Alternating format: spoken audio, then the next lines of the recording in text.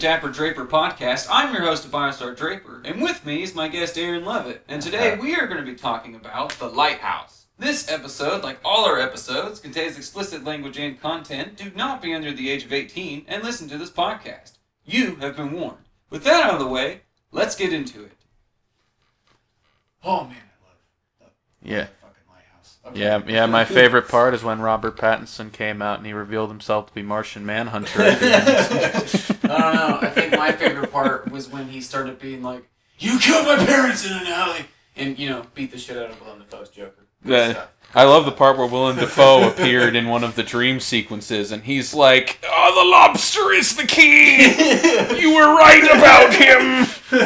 Anyway, actual movie talk. No, now. no, like Roger, the director Roger Egers, Edgers? Ro- uh, Eggers. Eggers. Okay, Eggers. I, I I knew I was gonna botcher that. Uh, Roger Eggers. He uh he's really good. Like wow, I didn't expect him to do a Lovecraftian esque horror because it it's not extremely like it's not completely Lovecraft. Yeah, no, no, like it, it's Lovecraft in the subtle way, and even then, if you wanted to, you could always interpret the Lovecraft stuff is kind of in your fucking head. That's true too because like really when you look at uh what's his name uh. Robert Pattinson's character throughout the whole thing. I can't remember the name of it. Tom. Tom. Well, Tom. well, they're both named Tom. So okay, Rob's Tom. Rob Tom. Ro- Robert Tom. There's Wob Tom. There's Wob Tom. There's Wob Tom and Dafoe Tom. And so Wob Tom. faux Tom. Wob Tom. His whole thing is that he he's not a reliable narrator, and I was mentioning this this to you earlier. That he's not really a reliable narrator, and it's because he is going crazy throughout the whole movie. So who's to say that a good chunk of this movie is just him seeing shit? But now, I don't think that's completely true, though. I do think some of that is. I think some of what he's seeing isn't true, and it's all in his head. But then a bunch of other stuff is actually going on. We just don't know because he's just he's. You can't follow Well- him and get a true answer to what's going on because he is going crazy. He's mad. You know? well, I mean, yeah, the whole movie is meant to keep keep you guessing. Like, hey, is this real or is it not real? Hey, is this you know which Tom is reliable in any circumstance? And neither of them are. No, because so- Willem Dafoe's this old, tired dude that farts and shits everywhere, and pretty much he has. ah, so all grandpas. Gotcha. well, I mean, really, and like he he's, he has a lot of sea talk and he has a lot of wise wisdom sometimes, but when it really comes down to it, he's, He's just a making, fucking crazy person. yeah, he's making Robert Pattinson just clean up all the fucking stuff while he just sits at the lighthouse and jerks off to the fucking light all the fucking time. Yeah, and cooks and cooks fucking lobster. Yeah, and that's all he does. And like every now and then he makes some shitty water, but I don't even think that's real water. I think that uh, legit they've been drinking like alcohol this whole time, and I don't think that's helping their mental psych, you know, mental case either. Because Either that or seawater, which isn't helpful be. either. no, because it's probably got a bunch of sea uh, salt in it and a bunch of other gross ass shit. Uh, it's just there's just so much shit going on with this that just helps further just delve into their like descent to madness. Like all the factors that come into play, like the seagulls pissing off uh, Robert Pattinson all the time, Uh-huh. and Willem Dafoe being like, "Fuck you, you can't kill them because they're fucking they're they're like the way he puts it is that they're they're people that died over in the ocean and in the seas, and so the whole thing with them is that like all the seagulls are the souls of well dead people essentially, dead sailors. Which you know, given you know the the superstitious nature of Willem Dafoe, I mean, it also that's another big thing of him being the unreliable narrator is that you don't really know if that's true or not, or shit just goes bad. You know, that, Yeah. that's that's the big thing is that a lot of the a lot of the movie is left up to interpretation. Which I mean, in compared to um, Robert Eggers' last movie, The Witch. Uh, the witch is very overt in a lot of its answers. Yeah. It's like, oh yeah, no, Satan's behind it the whole time. Whereas in like this, it's like, yeah, you do get shots of like this weird creature and shit, but there's More also s- yeah, yeah, more than once, and the fucking, you know, we got s- so many of these segments where it's like, yeah, we, we do see it, but is it really there? Like- Is like- the question. Okay, because well, they already. Uh, I'm sure they know that we're going to be talking. About, I, I put spoilers on front of all the titles and shit anyway. Also, So- it's a movie that's two years old. Yeah, it's two years and old, It's, so- and, it, it- and also on Amazon Prime, which is a pretty, it's a pretty dope subscription. Get Hey, for, get yeah. get a lot of get a lot of content. You know, you can watch The Boys, you can watch Invincible. Sometimes you can watch Clue. I don't know if it's on this month. Maybe you could maybe you could see if Clue is on there if you have our today's sponsor, NordVPN. So, um, uh, Amazon Prime sponsor us, please. um, uh, A24 sponsor us, please. Uh, no, uh, but no. why, why would they like, sponsor? we are, you know, talking high. We have talked very high praise about a handful of their movies, and we're going to be talking a lot more about a bunch. Can't wait for that episode for Lamb. Oh my god, I'm so excited for that movie. It That looks so good. fucking weird. It looks so good though. I know. Um, but back to like the lighthouse. That's something too. Is that like who's to say that Willem Dafoe's character isn't leaving all these crazy sprinkles of shit freak Robert Pattinson out and make him go crazy? Because when you see him come up to the like the island, he sh- when they first get there, uh, you don't even see the boat really. You see the front of it in the water, and then they get there and you see their faces. It's the kind of like a real iconic like portrait shot of them, you know, with their stuff and their boxes as they're on shore. Yeah. Then they go in. Then he gets to his bed. Rob, you know, Willem Dafoe's already farting and shit. He gets to his bed and he finds a hole. And Willem Dafoe's the one that makes their beds. Yeah, of he course. finds a, a hole in his bed sheets and he starts pulling hairs and shit out. And that mermaid, uh, like doll thing. And what's fucked up about AKA 1800s porn. yeah, yeah, yeah, really. But what's so fucked up about the hair? No, th- th- this is why. Uh, this is where things get crazy. So, like later on in the movie, he he pulls like he finds that head of the guy that Willem Dafoe had with him last when he was last on this island with this lighthouse, and he, Mhm. he killed this guy. And so, what's so fucked up is that like if he killed that guy, did like he stuff a bunch of his hairs in the fucking bed, like trying to hide body parts all over the fucking lighthouse, and we only found the head in the water? Or, like, what the hell? Because he does find a bunch of loose hair, like black, thick hair, in Mhm. the bed with the doll. Um, what do you think about that? Uh, in terms of how I could interpret that, because like, I'm not exactly sure. I mean, Willem Dafoe is crazy. Of course, he would do like crazy, stupid, weird, random shit. Of course, Yeah. but whenever it comes to that, I would say that that's actually something that's overtly left by the last people that actually did this because they. Uh, because because a lot of of course a lot of this movie's up to interpretation and shit. Right, yeah. So I'm more than willing to believe that probably one of the previous uh, lighthouse watchmen had probably left that in the bed of, hey, in case you go crazy, here's this random doll and shit yeah. that you could, because you know you aren't going to be able to touch a woman for probably a year. Um, Well, Willem Dafoe in the movie, he does bring up because like the Robert Pattinson's like, what happened to like your last guy that was here with you, your second, you know, the Mhm. the guy before me, and Willem Dafoe's all like, oh, he started talking about sirens, and all that. He went mad and he just started talking about all this crazy nonsense. So Mhm. the, the thing is, is like if his last buddy that he killed. Because he clearly killed him. Because Robert Pattinson calls him out on it. He goes, "You killed your Oh. last mate." oh, And he's like, wait. yeah.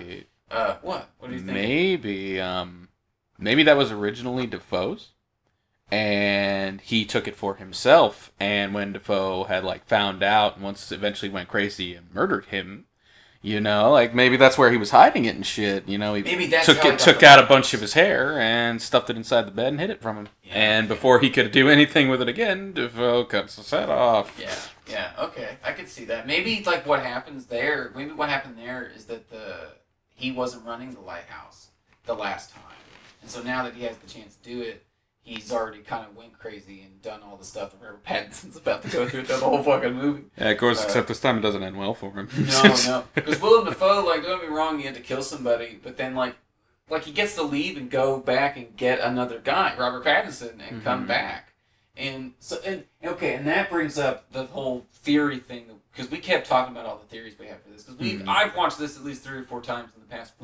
because we kept talking about all the theories we have for this because we've. I've watched this at least three or four times in the past week, and you've seen it before, and then we Yes. just watched it again. Yeah, no, this is my second time watching it all the way through. It was my third time, and I had just watched it last night too. And so it's still pretty fresh in my mind for the most part. I just can't remember.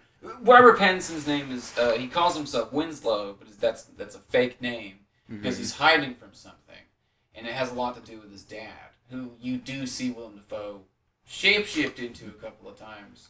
Whether he actually is or if Robert Pattinson's going well, crazy. well, I would say probably going crazy on I think he's going crazy because every time that he lays a punch or something on him, he's turning into his dad, and then turning into the siren that he wants to fuck, and then turning into the Sea King that Willem Dafoe keeps talking about with his sea talk. Because he Mhm. talks like a legit, he talks like a pirate. That's why I was telling you earlier. I was being like, why don't they Which- just have Willem Dafoe in a pirate? Which, like, uh, and an impressive feat is that uh, the director went into uh, painstaking research into the olden era and Ooh, researched yeah. exactly how people uh, speak uh, spoke back in that era to uh, accurately capture this. You know, it's a bit of a you know it is a period piece. I It shows. say. It shows. It's Yeah. really good. Like I Mhm. think that I, th- I think in the next like 10, 20 years, this is going to be like the Lighthouse will be many A twenty four movies. I think are going to be considered cult classes, like like we do with Stanley Kubrick Uh, movies now. Well, I mean, I mean, the I mean, the lighthouse is like two years old, and I mean, fuck, even when it was like barely a few months old, it was already in that status. Yeah, it was already kind of a cult classic that people was just like couldn't get enough of. And to be fair, I mean we're talking about it now, and we're we're obsessed with this damn thing. I, kind of I kind of think that's why Prime Amazon Prime has never actually gotten rid of it, eh, to my knowledge. good. Yeah, because not only do they know it's good, they also know that a lot of people came in here to watch it. You know, it's kind of like the whole Wonder Woman 1984 thing where people got the free trial just to watch it on HBO Max. I feel sorry for all of you, by the way, but we'll do an episode on that Yeah. later. but well, so like another thing too is that like okay, so he, okay, so he, he first after Willem Dafoe tells him all about the crazy shit, and it's like, oh well, my other mate he saw sirens and shit, and he just went crazy, and so I had to get rid of him, you know. Mhm. Uh, after he says that, it's nighttime, and Willem Dafoe's watching the lighthouse. It's the first night, and he's watching the light, and he strips naked in front of it, and he's drinking, and he's drunk, and he's just sitting there, and he's calling it beautiful and all this stuff. We don't know what he's seeing. We Mhm. never really know what Willem Dafoe's seeing throughout the whole movie, and so that's something we'll get to. We'll get to why that's interesting Yeah, later. he's looking So- at the cameraman. really? Yeah. Well, yeah, but like you know what I mean. Like he's he's just kind of sitting there and just going. He's already crazy, so whatever, just drunk, having a blast, just sitting naked in front of this damn thing, jerking off Yeah. in front of this light. Really? Yeah, re- re- really love that scene where he looked at it and he said, "Godspeed, Spider-Man." Man, what a turn that would be. yeah, of course. Multiverse confirmed. To- Uh, Tobey Maguire, Tobey Maguire, and Willem Dafoe Tobey in the Mag- lighthouse. Tobey Maguire's the siren. That'd be great. Oh my god, Instead the of- the rogue editor that just puts fucking Tobey Maguire's face on like the siren sex scene. Oh my god. Have you seen like Have you seen the video making fun of the No Way Home trailer where like at the end when it shows Doc Ock, he's getting ready to say hello, Peter, and then you see Tobey Maguire run him over with a car, and he looks over and goes, "Dude, we're in traffic. Get out of the fucking way. There are cars there, motherfucker." Like. Dude, no, I haven't. I, I thought of that with that whenever the siren shows up. I thought of that scene where like you see the siren and it starts laughing instead of going "Ah," like flip with that creepy sound it's got. Instead of doing that, it's Tobey Maguire going, "There are cars there, motherfucker! Get out of the way!" but the deleted scene to Seabiscuit you never thought existed. Lighthouse, the McG cut, McG cut, the McG cut. Sounds like a goddamn McDonald's item. well, you know McG. He doesn't. McG. Like I like Terminator Salvation, but he's never really made a good movie. G. Like, that's his name. That's like his a, name. I know, but it's like a '90s rapper's name. Well, so like, basically, he talks about the whole mate being a- after he tells the mate all about, oh hey, I saw this, you know, fucking, you know, my old mate went crazy thinking he was seeing sirens and stuff like calling that. himself McGee. well, he kept talking about that, and as soon as he tells him that, and that first night he's naked looking at the light, and then Robert Pattinson's looking at the water, and he starts seeing all these weird rocks moving around, and when they separate, he sees his dead. He sees a dead body in the water. Now you don't know this when you're watching it, because at first you're just like, "What the fuck is going on?" Later on, he elaborates that he he has some issues with his dad. That was his dad uh, in his head, and then he almost drowns. And here's what's so crazy is that he almost drowns because he goes too far into the water and sinks, and he sees the siren. Mm-hmm. And he doesn't start seeing this shit until Willem Dafoe fucking mentions the last guy going crazy, seeing the same shit. And so, what's so interesting is that as soon as he says that, like four hours pass, and then he goes out to look at the water and he sees it and already is starting to go crazy. Now, whether he was drunk and was just seeing shit is left to interpretation because they are drinking the entire time they're on this island at this lighthouse. They're super drunk all Mhm. the time. And another thing too to add on, because I know that we're trying to add on to the pile of all the reasons why someone would go crazy in this movie. Well, multiple layers there. Yeah, like for one thing, eating lobster all the goddamn time for about like they're there for a few months.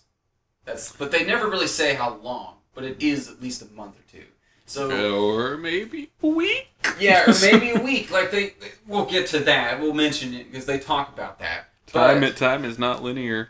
no, no, and like, uh, so like, what's so crazy is that the whole time they're just like they're eating this lobster, and I think that factors into it because all they're eating is this fucking lobster that's probably cooked in some boiled seawater, and all they're doing is drinking this vodka and rum and shit, just getting trash as shit, eating lobster, and you even see that when they make that first toast together, they're not drinking water, they're drinking vodka. Or, you know, they're they're just getting trash as shit. And so them being super drunk, alone on this island, isolated, and then they also get stranded in a sense because as soon as as soon as the bad shit like things go south when Robert Pattinson kills a seagull. Yeah, that's just the first of Well, many. yeah, yeah. Well, that's the thing is that they keep pissing them off. And Willem Dafoe mentions he goes, "Look, they're the souls of you know dead sailors that died in the seas and in the oceans. So you, it's bad luck just to kill one. It's just bad luck to fuck with them. So just leave them the fuck alone." of course. And then, so, and Robert Pattinson, like, he's just going crazy the whole time. And then, like, the finally, like, one of them just pisses him off too far, and, he grabs it and just kills the shit out of it. It's very satisfying. I mean, I mean, it is. I'm not gonna but- lie about that. But also, just real quick, I wanted to discuss one minor thing that actually kind of leads into the bad luck with the seabird thing. I actually kind of think that that probably holds some truth to it.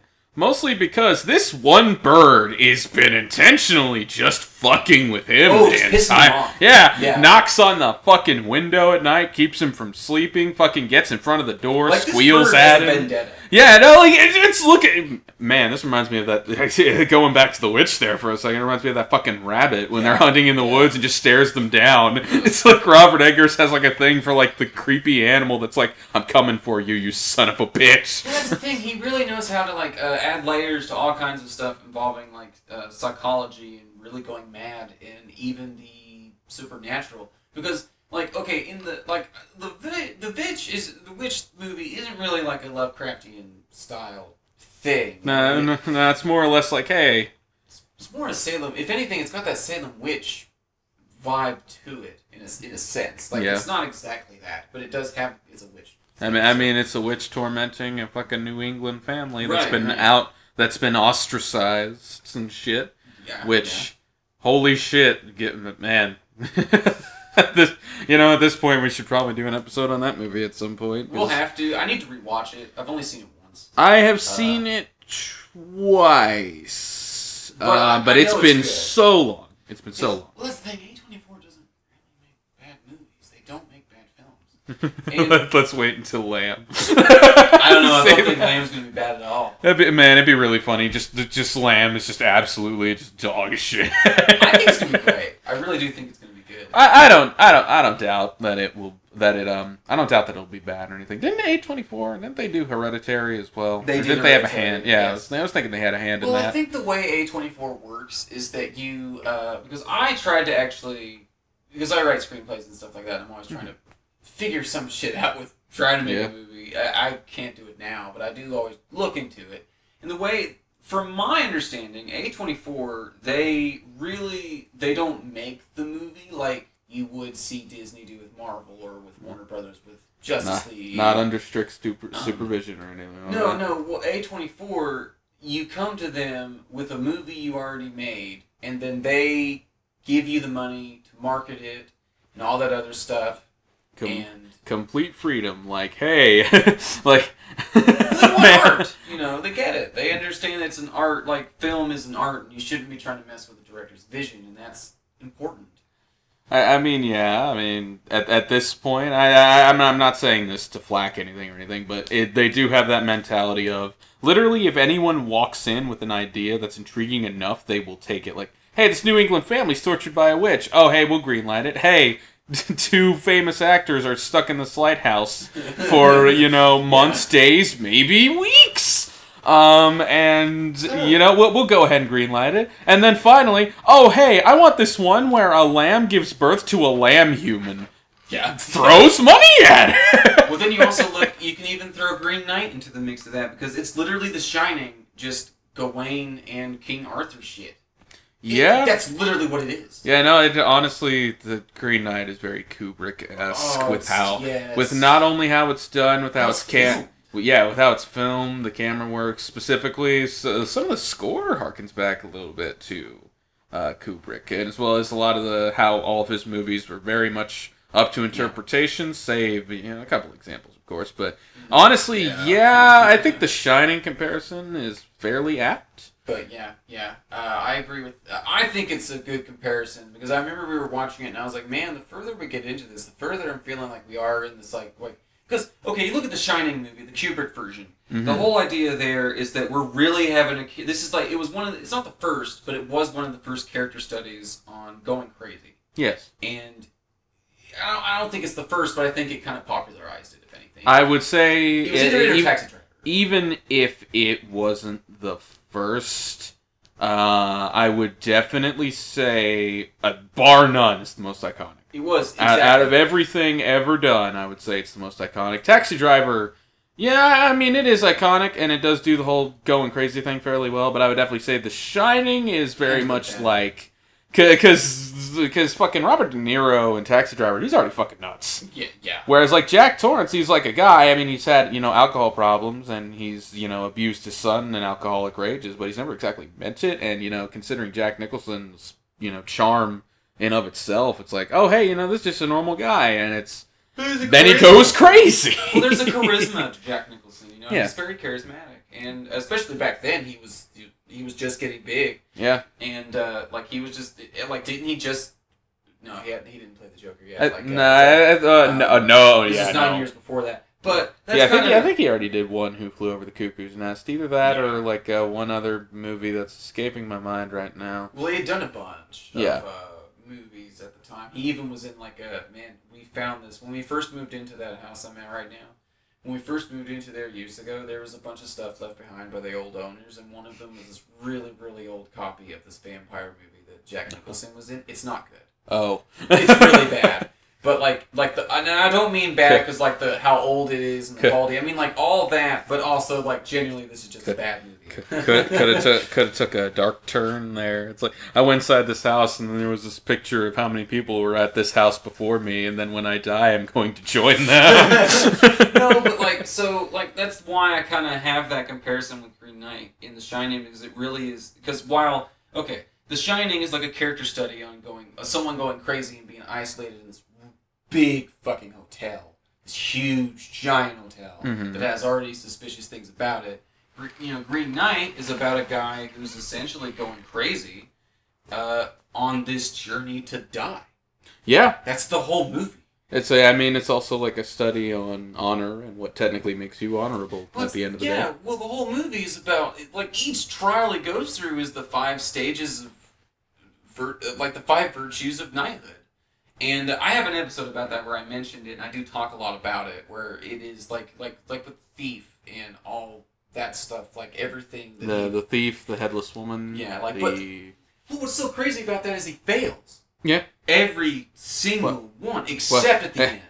okay. He, he didn't fail. He didn't fail the headless woman one. He was rewarded for that because no, he no, got no. his axe back. No, he failed, and it was because okay. So he, whenever he goes up to the pond, Hmm. uh, he's asking her, "What will I get in return for getting your head?" She's like, "What the fuck, man? Why are you just being nice and just help me get my fucking head?" He's trying to get something in return for it. He failed that test because he was expecting something in return.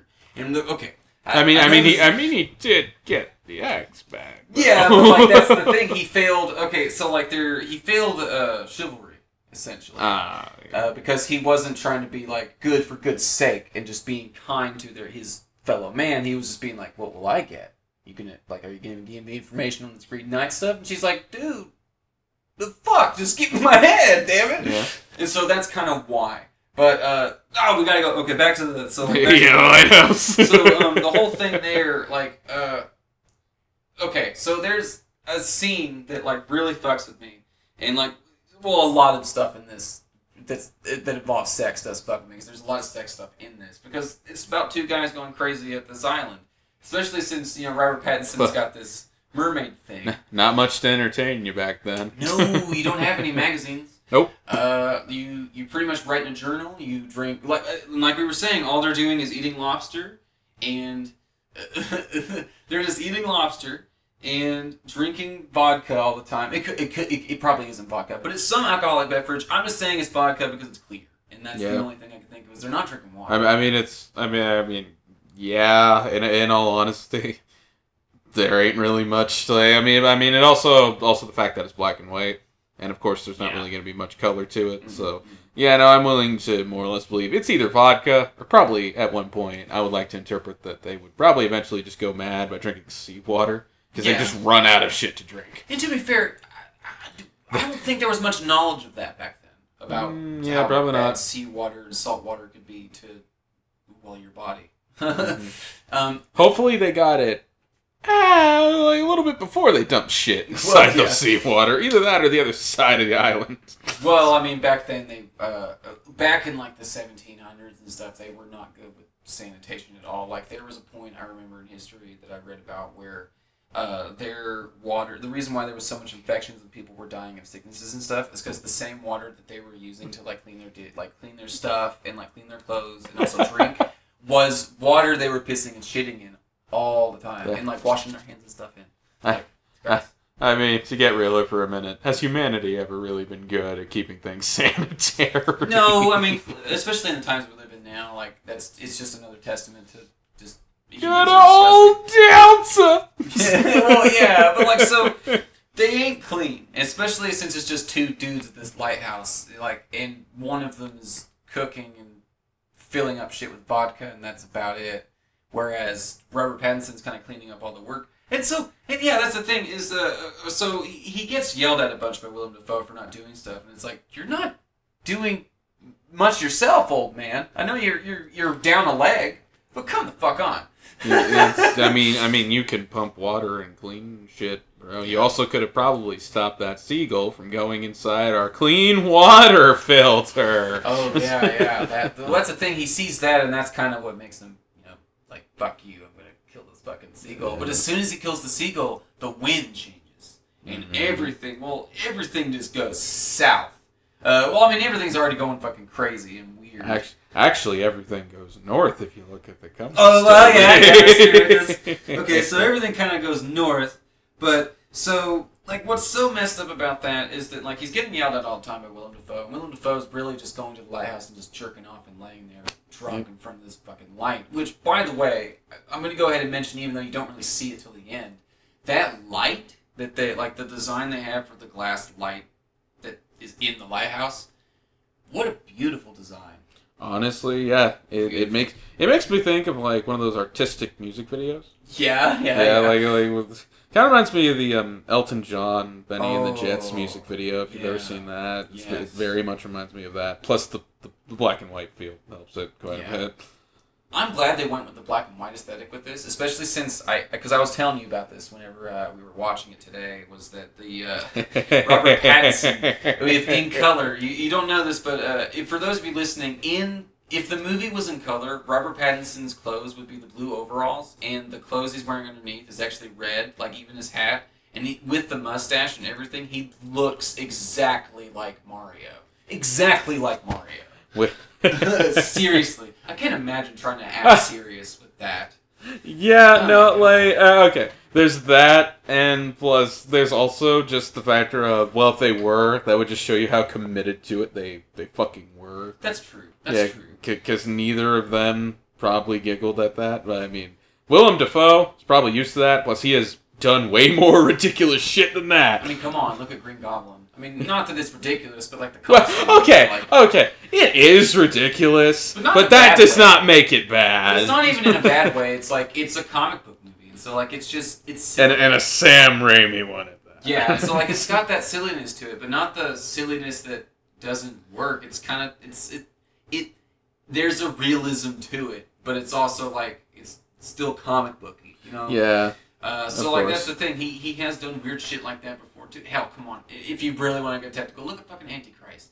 Like, Yep. He like Jesus. Uh, that'll be a whole other episode. Smashed balls Yeah. and talking foxes. You were telling me about that because well, I talked to Gabe the other day because he mentioned Antichrist, and I was like, me and Sarah are wanting to watch that. We still haven't. We're going to. I don't know when. I'm I'm I'm, tr- I'm treading like water. I'm scared. You know. Man, I'm gonna ask Sarah so much about your reactions to that if I'm not there. Well, I told her. I, I told Sarah. I was like, don't get me wrong. I'm willing to watch fucked up movies with you, but like, if there's a fucked up thing that happens, I will, and I have to look away. I will do it, and you cannot force me to watch it if it's too fucked up. And she was like, "That's fine. You gotta do what you gotta do." And I was like, "I'll, I'll, I'll toughen through it, man. I'll toughen through any movie I watch with you." But man, just I don't like. I'm. It's fucked up, and so like I'm dreading it a little bit. Yep. But the, the, the thing that has my curiosity, and it, it was the same thing with Lighthouse, with both Robert Pattinson and Willem Dafoe in this movie, was what drew them to this. You know, what like what drew Willem Dafoe to Antichrist? Like what got him so invested in the idea of doing something like that? And it's the same thing with Lighthouse. Well, uh, here's the thing. I'm not flacking Dafoe for this at all, but I truly do think he will do anything. It's like, like in all honesty, I'm not even like He's so He- versatile. He's not only is he versatile, but you know he's he's kind of in that camp that I would like to call the I can make shit good camp, which Yeah. is like, you know, actors like Jake Gyllenhaal. Yeah. You know, where it's like, hey, I'm in a bad movie, but I am the best part of said bad movie. Same with like uh, Yeah. fucking Tim Curry and the like, Yeah. where like, yeah, they will make it work no matter what.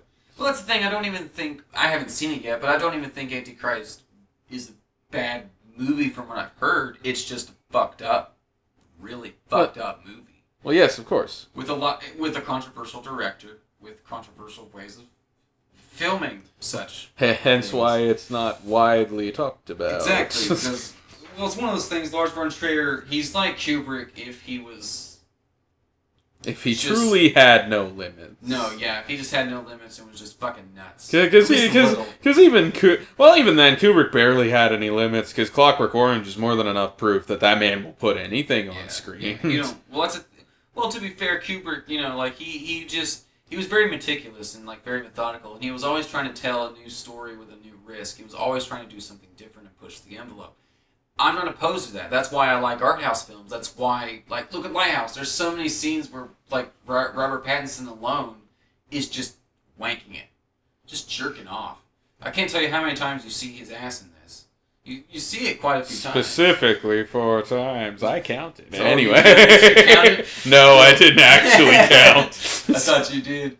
But It like, is, although rough estimate, it probably is just four. but like, what's worse too is that like you look at like okay, so there's even a scene where Robert Pattinson goes up to the lighthouse, and keep in mind the way to get to the light, it's locked, and Willem Dafoe has the key the whole time. That's important. That's important to the play, not the play, the plot. Uh, and so like This would make a bitch and play. it would make a great play. Yeah. You only need two actors. That's it. That's really it. You Yeah, need, like, two, two actors in a squid costume. This would be a great play, especially since like the like the lines and like the scenes. This it'd be a great play. Kind of like how the Hateful Eight. I think that would be a great play too because it's filmed and staged like one. Um, have you you've seen that? Right? Uh, yes, I've seen that. I think that that works as a play. Fuck, that makes me miss theater.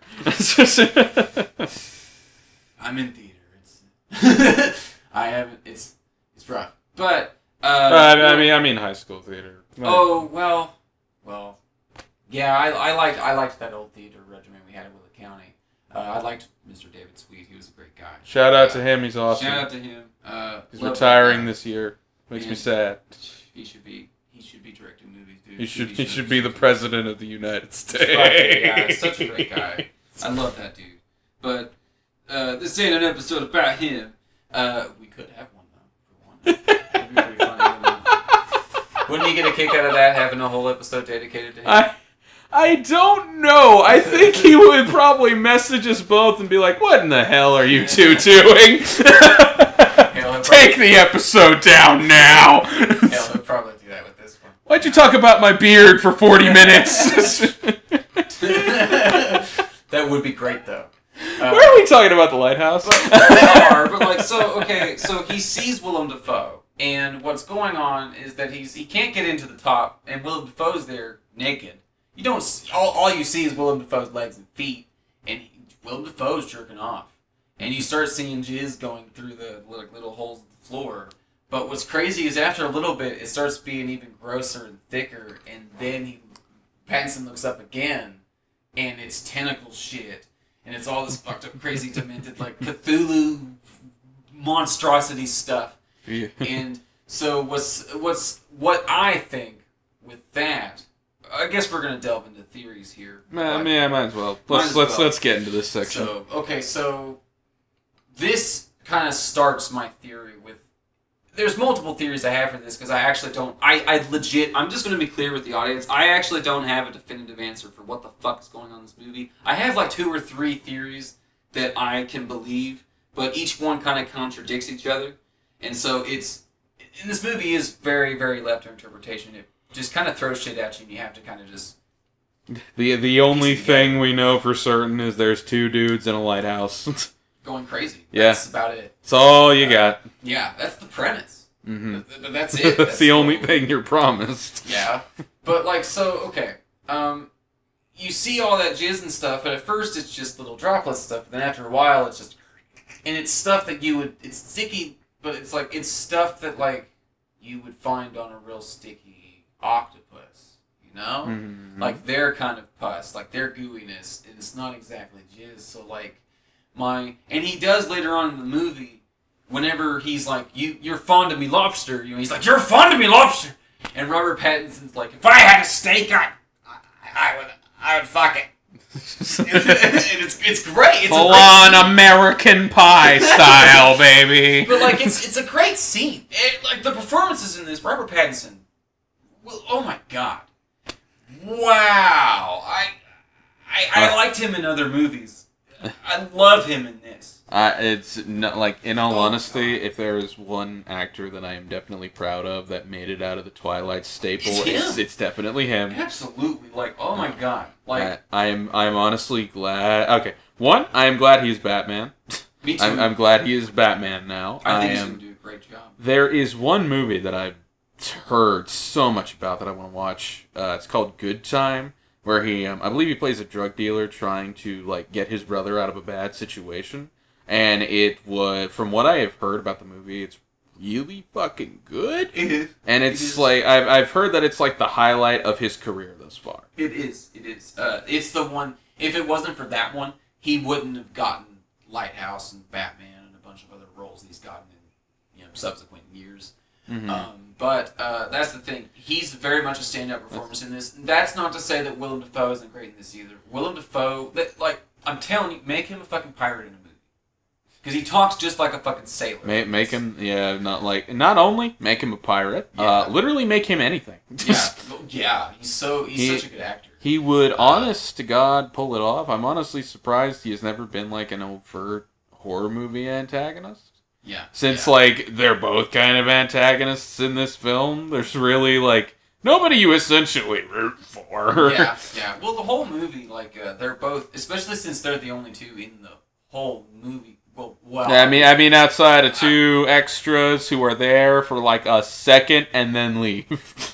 and the siren, but like really. Well, okay, yeah, and the like, siren. and even then, like, they're really the only two saying anything. oh, and um, fucking Robert Pattinson's dad. Uh, yeah, that's right. His dad too. Uh, even though, look, but that's the thing. Robert Pattinson and Willem Dafoe are the only two people saying anything throughout Yeah. this whole movie. They carry the whole film, and they're and it's one of those things.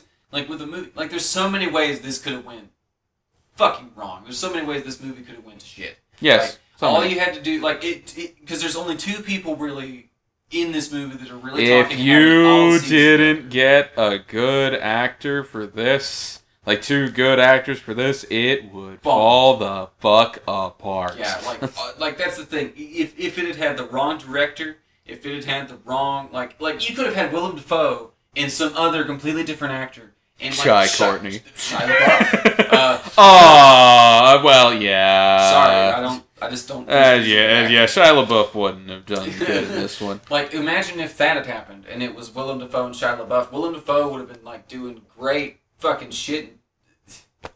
Shia LaBeouf would have been.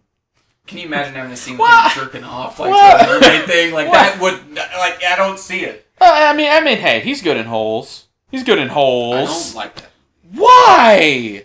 Because What the fuck? because everybody talks about it so much and it's not that impressive. Okay, it's it, okay, it's not, but like of the Disney live action movies of the time, that's like the only good one. It's fine. It's not great. Like I don't. I wouldn't write home about it. Like if I had to choose between holes in this, I'm well, I mean, of course choosing you're choosing this. Yeah, like, and, and, like to go even further with holes, I get man, people are gonna hate me for this because this is something that no one knows about. But like, so we we are if it wasn't for this, if it wasn't for holes, Shia LaBeouf wouldn't have gotten a career, and he wouldn't have been in these. Uh, uh, uh, nope, nope.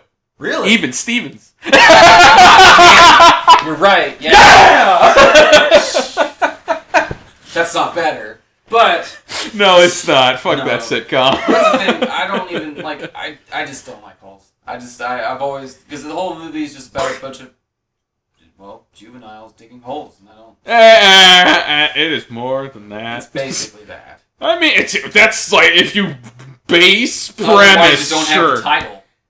Well, if we're if we're going if we're going that far, the lighthouse is about two dudes going crazy in a lighthouse. Yeah, but like it's It's about more than that, mother. Where, Yeah, but it's got layers to it. Whereas holes, there's not. I don't see the layers there. I see. Oh, the lay the layers is a bunch of the layers is about a family that has been cursed for generations to get fucked over just because a dude could not carry an old woman over a mountain. So years later, his descendant takes that other person's descendant, rides them on their back, sips splooge on top of a mountain, and then fucks Sigourney Weaver out of an entire treasure trope. How can you just say it's just about juveniles digging holes? And the remote just fell down. Well, that's the thing. I don't. All that doesn't sound as interesting to me as a Lovecraftian, like just movie dedicated just two actors. You better call this episode Holes versus the Lighthouse.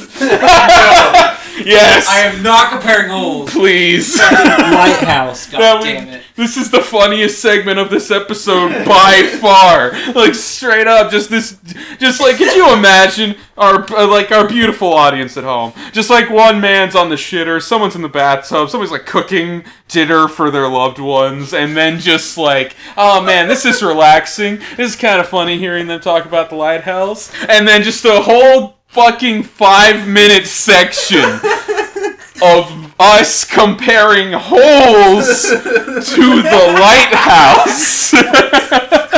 No. yes. We, if we ever uploaded this to YouTube, like somebody would have to timestamp it of, hey, if you want to skip the random holes debate, here you go. It's fucking random. Like, okay, so back to Lighthouse. like, he sees him jerking off, and my whole thing is that later on in the movie, Willem Dafoe, like, whenever Robert Pattinson has that scene where he says, I'd fuck that steak, he flips out, and Willem Dafoe starts just going crazy and puts a curse on him. And he goes, Hark! You know, and starts saying, I hope that the spirit trident cuts you open, and I hope you get that light in the lighthouse and you get burned, and I hope you break your leg, and I hope you fall down a flight stairs, and I hope that you get fucking seagulls and the spirits of all these sailors eat you to death from your gut. I hope you die in 9/11 in that weird movie called Remember Me. but like, really, like, the, when you look at the end of the movie, all of that happens. He does threaten. He does. He, he curses him with that, and everything that happens by the end of the movie is exactly everything Willem Dafoe threatened for him, like wanted to happen to him after Yes. he had shit talked his food. So my theory for the Sea King, the I, how many theories do we have here? About three. Three or this is four. the first one we've gotten into because of that fucking holes debate. So this is, I guess, this is the first one, and so like the theory is that it's this Sea King, that's fucking with him and trying to appease this mortal and keeping him in this loop of just feeding him lobster all the time and getting him drunk and being like, enjoy the sea, you know. And Robert Pattinson's like, dude, I just want to save that money, go home and get laid or some shit. Yeah, no. Regular dude stuff weirdly the, the weirdly the most sane one of the two. Right, yeah, yeah. Mhm. And so, like, what messes with me is that if if that is true and he is the Sea King, then how is if he is the Sea King from the you know from the ocean with this mythical powers and all these fucking like tentacles and shit and like you know horns from fucking uh, you know coral Crustacean. crustacean, yeah, then like, how is he able just to get axed off like that by Robert Pattinson so easily at the end? Because he just puts an axe in his head and he's done. Well, Don't think that, that you can put Well- out a Sea King that easy. well, uh, here here's the thing with most like sea folk in general, they are in fact mortal. True, yeah. and also like an axe to the head would probably kill anything. Yeah, but like the way they describe it in this, with the, like the way this movie has it set up with their Lovecraftian elements, it's so supernatural. Like even the siren, like it's so supernatural that it shouldn't be. It, it doesn't feel like it would be that simple. Not to me. I don't know why. And so that's why I have a hard time grasping the Sea King thing. Plus, we're- Willem Dafoe is going just as crazy as he is. And so if he was already the Sea King the whole movie, then he wouldn't be insane. Could could No. could, could have been due to the constant exposure to the uh, whatever squid inside the crystal. at the top That's true because you mentioned you uh, you you said that you're go ahead and say your theory before I get to my other two. Uh, like what you think is in this like light in the lighthouse that Robert Pattinson is constantly trying to get to throughout the whole movie. Um, in terms of what I believe it could be, uh, well, first, okay, I would honestly believe that it is some sort of Lovecraftian demon that Willem Dafoe has actually been taking care of and fostering. Which This entire do you think time? It is? Do you think it's Sugaroth, uh, Shub-Niggurath? I, Uh, I don't really have that kind of knowledge, to be honest with you, because I don't really know Lovecraft lore very well. I, I say Lovecraftian monster just because that's kind. I know what the general idea of what that means. Well, that's the thing. I don't think there's any actual like Lovecraft like monster. Okay, well, okay, well, no actual Lovecraft lore. No, no, like I don't think it has that Lovecraft lore in it essentially, but I do think there is elements of his horror in this, but it's not it's its own thing. Like it Mhm. actually definitely is its own like scary like sea story. Like like Mhm. like it's the worst thing that could happen if you were stranded on an island at sea. yeah, Uh, but you go like- crazy with your senior, Right. and there's a fucking monster inside of the fucking crystal. right, but do you think there's a monster inside the crystal, and that's the tentacle creature that's kind of infecting Willem Dafoe and making him I- crazy? I honest, I honestly do believe that it's real. I don't think it's just his you know, yeah, I don't think it's just in his head. I mean, they're both crazy by the end of the movie, sure.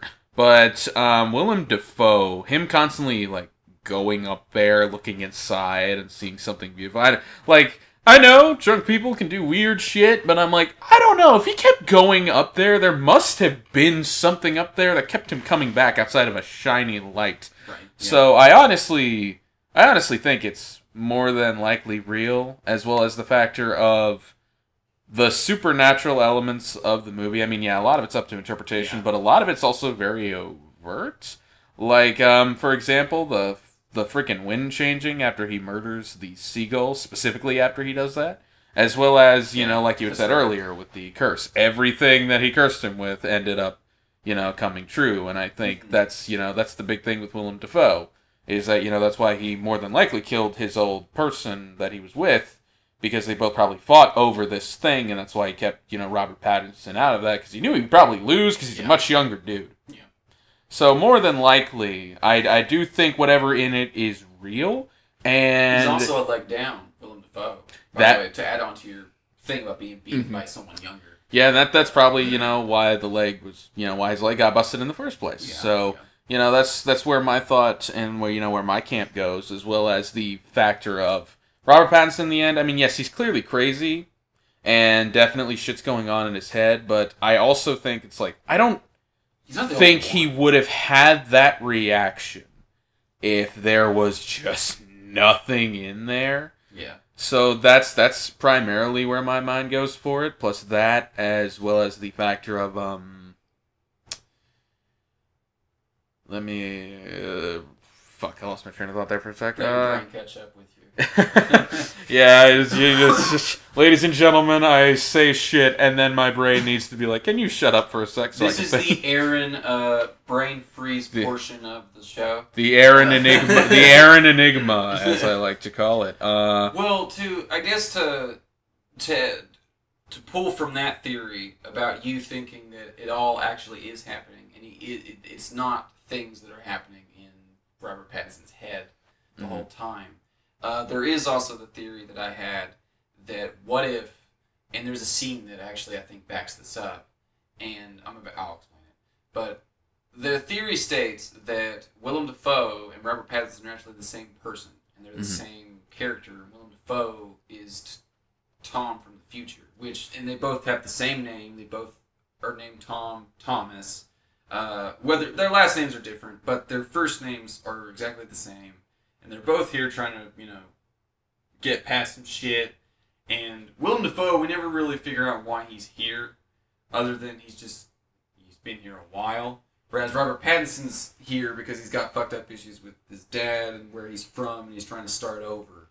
And uh, throughout the whole movie, Willem Dafoe's being like, "Don't spill your beans." Well, so like that, that's that's what he says. He's like, "Don't Mhm. spill the beans on your stuff. Just don't talk about it because it's bad mojo." And so my theory goes that what's going on is that Robert Pattinson's in this loop and he's stuck with this older version of himself that's trying to stop him from making the same mistakes he did.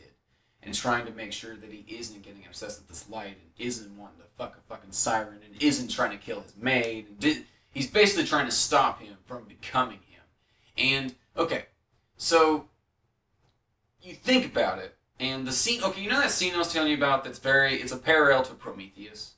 Uh, this whole movie is Yes. a parallel to Prometheus, but this scene especially just, you know, puts the hammer in the coffin for me. where, he's, And- where he sees himself. Yeah, yeah, and so like he sees a younger version of himself, and he turns over, and there's Willem Dafoe naked, shining lights into his eyes. That exact frame is from uh, an ancient, like an old painting about Prometheus doing the same thing to someone else. But what's so interesting is I think what's going on in that scene because it's a it's kind of a nightmare sequence. But I think what's going on is that Robert Pattinson, when he turns the other Robert Pattinson over, that is younger Willem Dafoe. That's Willem Dafoe when he's young, and you know after like getting obsessed with the lighthouse for the first time, and he's turning over and seeing old Willem Dafoe being like, "You don't need to be doing that," and that's why he's shining lights in his eyes. Is being like, you know, here's the knowledge of I, you know not doing that kind of thing. I mean, I mean, the time loop can be supported by by a few things as well as like, um, Time keeps going out of sequence. not only that, that could also explain why after like Willem Dafoe has like given up on possibly like whenever Robert Pattinson tries to leave, he tries to kill him. Yeah. So that could also be interpreted as Willem Dafoe as older Thomas trying to kill himself to stop this shit from continuing. But Yeah, he always he's that. he's destined to fail. Yeah, always trying to, s- to stop that endless loop. Uh, yeah, and there's also uh, the other thing too is that like he's so obsessed with this light himself that like he doesn't want to share it, and so maybe this version, like this adult Thomas, this well th- they're both adults, but this old Thomas that Willem Dafoe's playing has already went through all the stuff that Robert Pattinson's going through, and then Robert Pattinson kills him, and then because of that, he goes down that path that Willem Dafoe is going to go to, to where Willem Dafoe essentially is going to be where the movie begins, and that's just that's the loop. See, it's like poetry; it rhymes. Fucking But so in that like, that theory, uh, the other thing too is that like they, they like they never explain why Willem Dafoe's there. We know where Robert Pattinson's there, and then Willem Dafoe kind of is like, "Why you're you spilling your beans?" And that's whenever you see that scene with the Hmm. Prometheus references. And the whole movie's splash montage of the story of Prometheus. Mhm. It's just kind of put on its head. Um, there's a lot of parallels in it, especially with that. Like that frame is an exact rip off Yeah. painting. That's not a bad Like thing. that, not okay, It's okay, okay. Movies do this all well, the fucking time. well, well, okay. I wouldn't, I wouldn't say rip off because rip off does have that negative stigma Well, attached to it. I would say like, you know what I homage. Yeah, very much a homage. It's very much like them just doing that exact same, like the framing and everything looks exactly the same. Like the only thing different is that Willem Dafoe's naked and Prometheus isn't in the painting. Uh, but um, that's why I think that, and then that would make more sense as to why when Willem Dafoe gets axed off, it's not him being some sea king. It's being Axed off. well, well, you know what I mean? Yeah. No, no, I know He what you mean. It's just he fun. No, it's funny. Well, that's the thing. He, he does. He gets basically an axe gets buried into his head after he just got buried alive for the most part, eating dirt. You see Willem Dafoe eat actual dirt. In this just, just to prove the amount of dedication that this man has. Okay, I guess we gotta. Before I talk about the next theory, we gotta talk about uh, the siren sex scene. Uh, so I thought it was real fucked up and real funny that Robert Pattinson, when he's like, like holding onto the statue of this mermaid, you know, this sea lady or whatever, because he's got the little statue that he found in the bed in the beginning. He's looking at it and he's jerking off. And he's staring at this thing, and he keeps seeing all this crazy shit. He keeps seeing him drowning because the siren pulls him in the water. He sees his dad before his dad drowned, I guess. And then he also sees, uh, he's also getting obsessed with that lighthouse and how he can't get in there and he's not allowed to look at the light or anything. And Willem Dafoe's taking it. And then he also starts, um, like, imagining, because he's trying to jerk off and, you know, get off, essentially, he's imagining fucking this mermaid and what's so like this siren and what's so messed up is that like some of her fins like it, it looks like uh, like a fish pussy essentially like i'm not i don't, I don't know how to No, talk no, about it it- other than saying how it is it I, like a- I, I mean, that's. I, I mean, I mean, they also need to convey where the hell his penis is going Yeah, in this yeah. fantasy. So of course, in his head, he makes up like, "Oh, hey, fish penis." Yeah, well, that's not fish penis, fish Fish pussy. vagina. that would be a fucking twist oh, fish penis penis. it'd be a penis with gills or some shit on it like oh i don't want to imagine that that's gross Wow, Aquaman 2 getting real insane. oh man, I can't wait for the deep spin-off. Uh,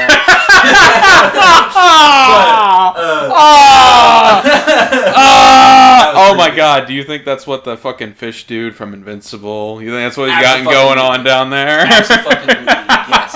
I do think that. But like, so no, but like, okay, so he's fucking this lady, and like, what's messed up is that because there's so much stuff you can leave to interpretation.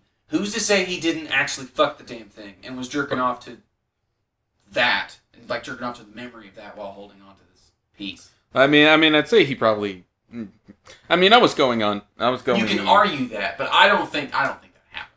I mean, I mean, I mean, I, w- I was going in on you know how the creature is more than likely real. Oh, but yeah. I, I more or less think that um. I think the Uh, oh yeah. Um. Get, getting back to what uh, theory, my my train thought finally Yeah, came yeah. back to the station. Okay, is that um, I really do think that's what you know enticed Willem Dafoe is that uh, odds are every time he goes up to there, um, the thing that made him the victor and made him so uh, obsessed with it is that the creature had probably promised him some type of pleasure, like hey, I will make you a sea god, and Yeah, I, you know, and you know, eventually it's giving him this type of you know curse shaman shit, where he's like able to curse fucking um, Robert Pattinson's Mm-hmm. And how all of that is completely fucking accurate. Um, and that's another big thing that that's probably also what the creature wanted as well, which was it's probably like okay, Willem Dafoe, he's probably not going to work out, so I, I want the young Twilight man meat over here. So I'm going to start fucking with his head, and then whenever he eventually kills Willem Dafoe, hey, he's going to be mine. Uh, the only thing that didn't work with that is that some of the power that Willem Dafoe probably had received, you know, it had backfired in the creature's, um, in the creature's uh, less favor. In Right, that right, Robert right. Pattinson had ended up dying, and that could also lead to why, in the end, Robert Pattinson's getting devoured by the seagulls. Is that too much of this, you know, curse was working against him, and then eventually this forced the creature to leave, which would make the lighthouse disappear. That's true, yeah. Because that's the thing, you don't see the lighthouse at the end. Like, Yep. for all you know, the rocks you're seeing around Robert Pattinson is the rubble of the damn thing. But we don't know. Either that, or it just never even either Maybe it was that. never there. Yeah, it was possibly never there, or the creature just completely conjured it up. No, Because Willem if the creature's no longer there, then that means you know the place doesn't exist anymore. Well, there's a few scenes where like they talk about time. Like the first time they mention it, like Robert Pattinson, like they, it's the first, it's the night, it's the day they're supposed to leave, and at the end of that night, they're like they he, that they didn't show up, and then the next day rolls around, and well, you know, Robert Pattinson's just doing all his routines, and he's exhausted, he's clearly worn out, and he's slowly delving into that, you know, trip to madness, and what ends up happening is that uh, they're working on a bunch of shit like in like one of the sections of the island that are like helping run the lighthouse. And Willem Dafoe's like, we've been here for like a month. We've been here for almost two months since we were supposed to be picked up. And Robert Pattinson's like, what? No, that was like two days ago. He's like, no, that was like a month. And so like Robert Pattinson's not even being able to keep up with time. Which is why that just further adds on to my argument. He's not a reliable narrator. We can't trust Robert Pattinson's character in this. I mean, we, we can't trust we cannot trust either anyone. Yeah. No, yes, exactly. You can't trust anyone in this uh, story is the thing, and so that's why I'm like, look, he's not. That, that's my argument for why he's not a reliable narrator is because he's losing track of time, and we're seeing a lot of crazy shit that we don't know is real or what. And and on top of all that, he plus he's trying to fuck a fucking siren. So Nah, now that I think about it, A24 films have never had a non-unreliable narrator. Oh, You know what I'm saying? like no, not really. That's that that is very true. Real quick, I just want to say you can listen to our podcast on Spotify, Anchor FM, Pocket Casts, Breaker, Google Podcasts, and Radio Public. We're also very creative people with creative ambitions and goals, so if you can, be sure to check out Tobias's Wattpad screenplays on www.wattpad.com slash user slash Mr. Darkman23. Also be sure to check out the artists of said stories at www.deviantart.com slash lonelysolipsist23. You can also hire us for your screenplay writing on writers.work slash draperworks. If you have an original story or an already published story like Mary Shelley's Frankenstein, and you'd like us to read it in our immaculate voices, be sure to send it our way. Now back to the show. But like, so what? Even crazier to even further prove my point is that he's just he's just obsessed with this damn lighthouse, and like he even gets madder than hell. Like he gets mad that he's losing his pay, but he doesn't really get mad about him losing his pay. He gets mad that he's not able to work because he when he begs, whenever he finds out his pay has been docked, he's like, just let me work again. But please, please, please let me work that lighthouse. And it's like there's nothing really like I know that there's something crazy and wild and magical in it that he's trying to fathom and understand. But really, like if okay, if Willem Dafoe wasn't going crazy and he was just some regular dude, there's nothing impressive up there other than a really I- pretty light. I, I mean, yes, of course, but that also kind of feeds into like the certain psychology. So, like, per se, you are, you know, you know, it's sort of like you know how the past year, how the past like year of 2020 went for most people. It's really just that you know the mundane. Yeah, it's like when you're stuck inside for that long and all you have is the inside. It's like even the tiniest bit of opportunity that's even slightly new, you will fucking take it yeah, and especially for like you know like um, Robert Pattinson's character. he goes It's through a that- lot of shit. Yeah, a lot, and he, you know he deals with Willem Dafoe, and he has been up and down this island. The only place he has not been is the top of that lighthouse. Yeah. That is that is the only place he has been everywhere. You know, whereas like uh, Willem Dafoe has been in the lighthouse the entire time, going back and forth between that and the house, and he doesn't he doesn't even really explore the island. No, he doesn't. So He's so like Hmm. always in the lighthouse, uh, just wanking it and getting drunk. Yeah, no, exactly. So, you know, that's what entices Robert Pattinson. It's like, hey, Willem Dafoe, I mean, he's crazy, but he hasn't, like, gone crazy like me. He's fucking content. So something fucking rad must be up there, man. yeah, yeah. Well, that's the thing. Is that like uh, he's even being like, oh, I don't want to be here with a madman, but it's like you're just as crazy as Robert Pattinson is, because like hell, he curses. He literally puts a curse on him just because Robert Pattinson confessed that he didn't. He got tired of eating fucking lobster all the time. Like that. like, Which come he- fuck on. How petty he- can you be? Which even then, right after that, he's like, all right, have it your way. I like your cooking. yeah. this, this movie's really funny. There's a lot of really funny stuff, but like it's not funny like in the way a comedy is.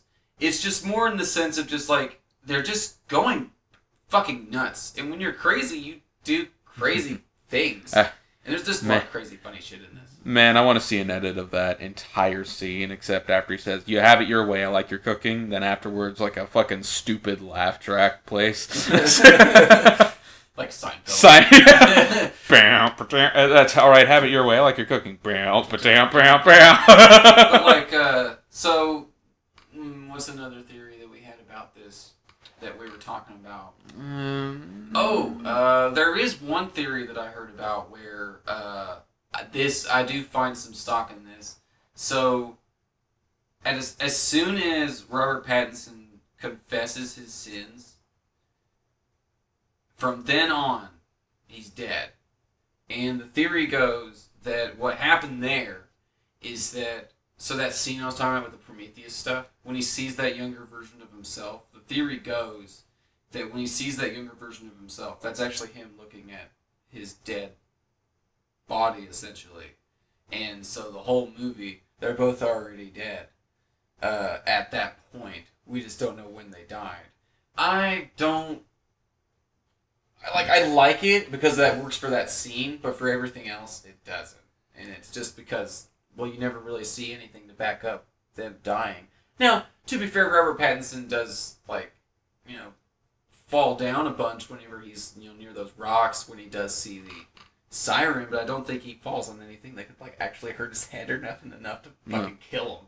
well, oh, well, well, I mean, okay, there, there's a bit of room for debate there, given there's a bunch of jagged fucking rocks on that. That's true, island. but you don't actually see him like his face or anything make actual impact on there. And so, well, to be fair, you don't really see a lot of things that could like like at the end whenever he falls down the. Well, okay, I guess we got to talk about. All right, I guess we got to talk about the ending why. I mean, we've already talked about the end. yeah, well, okay, so like at the end, what happens is he gets up, he kills, he kills Willem Dafoe. After Willem Dafoe just puts an axe in his shoulder, which, by the way, he doesn't react to at all. Uh, it's uh, Batman training. well, yeah, but like really, like with in this, he's just so mad and so insane and so fucking psycho and batshit at this point.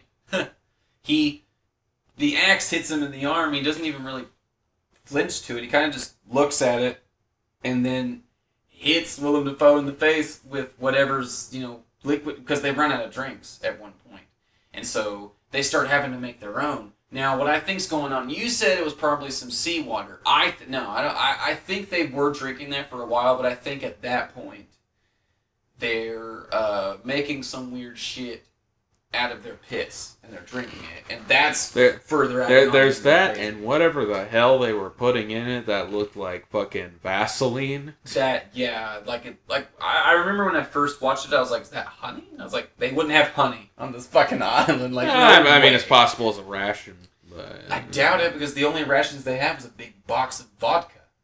A Eh. big box of vodka. I, I, I know. Um, it, it's really just like I, I'm, I'm just I'm, I'm right there with you. I'm still trying to figure out exactly what in the hell they, Yeah. that yeah, what in the hell they put inside of Because that. that's the thing, I don't know what exactly that was. That's why the only thing I could think of is that it had to be something, especially back in those times, because this takes place in like the 1800s, right? Mm, Something I believe. like that. Yeah. I believe. So like, I think that they had some certain way they had to make piss into water, and that was it. And it looked like they were because like okay, like in into in, in if that's true, then the thing that Robert Pattinson hits Willem Dafoe with before he puts an axe in his head.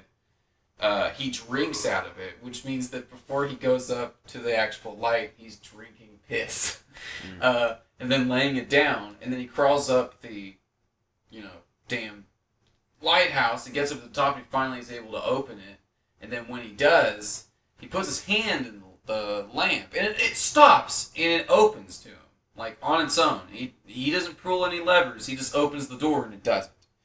And he puts his hand in it, and he starts screaming. Now it starts out he well he puts it's hesitant and he's like loving it, like he's enjoying the feeling. But then as soon as he puts his hand deep enough in this light, he just starts it. It's like he's in pain, like he's hurting, but he's liking it at first. But then it gets to a point. That's a new he- sensation. well, yeah, yeah, but it's supposed to be because like for him because he's crazy, he thinks it's like it's it's it kind of like with Hellraiser.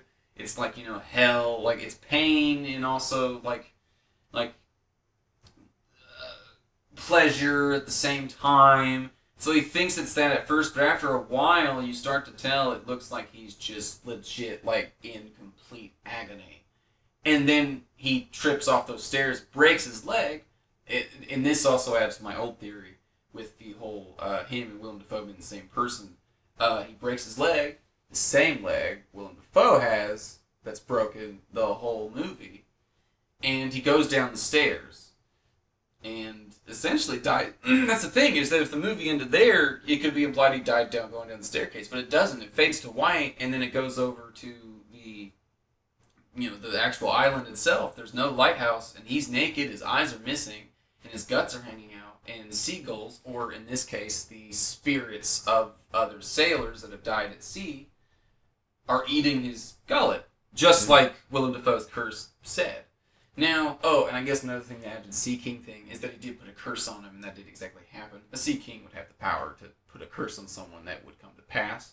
But I also think if it's if it's them being the same person, then all you got to do is say that he puts such stock in fish talk and like the the rules of the sea and all the superstitions of it, and they're true. And so, in a way, he's right, and he learned that because he was Robert Pattinson before, and learned those mistakes by fucking up with his Willem Dafoe. You know, Mhm. I feel bad for the people listening to this because they're not going to understand. None of some this is coherent. no, because like we're because we don't even remember the characters' names. we just watched it. Uh, Oh yeah, let's be more specific. So Thomas kills Thomas. I mean, yeah. Well, that's the thing. What are we supposed to do? but no, like that's that's the thing is that like because of that little bit at the end, I have a hard time really figuring out what happened. It very much has that Nolan esque, you know, like Mhm. inceptionness to it in a way. But it also has a lot of Lovecraft to it too, because Lovecraft, all his stuff is about like going crazy. I, I, would- I would kind of say Nolan's is like, in all, in all honesty, I, I I like taking the wind out of the sails of this movie a little bit. I don't think Inception's exactly all that complicated. In all it's not honesty, complicated. because it's great. like, i i in all honesty, I, I think the ending means that Leo's in the fucking dream. yeah. But yeah, spoilers for a ten-year-old movie, everybody. Well, I actually am going to do an episode. I'm wanting to do an episode on that at some point. I already made the cover for it and everything. Mm-hmm. But uh, I know that like uh, I love Christopher Nolan. But the Yeah. thing is, I actually, to be fair, I uh, you can leave that to interpretation though because it does wobble at the end, like that split second. Uh, the top does. But I think I think that's do- more physics than anything. well, yeah, that's true. This thing you can't argue it's physics, and so I can't really argue with that. But you can also say because the dream shit doesn't make sense anyway. Like you're able to fucking spin buildings and stuff. So Plus, plus he was real deep in that dream. When Yeah, that there was dude, no when that dude woke up, he was deep in that dream. But that's the but that's the thing is that uh, because I, I do see that this has like a Nolan esqueness to it, like not uh, not really with the complexity, just more of how the story's told. It does kind of have that vibe to it because it's just you're kind of shown a lot of stuff and you still don't really get all the answers because like well like we said earlier, this is very much left open interpretation. I could think of like two or three theories already, but like none of them I can't really get a definitive answer. Because the Sea King one, that one can be canceled out because of so much stuff that happens in the movie.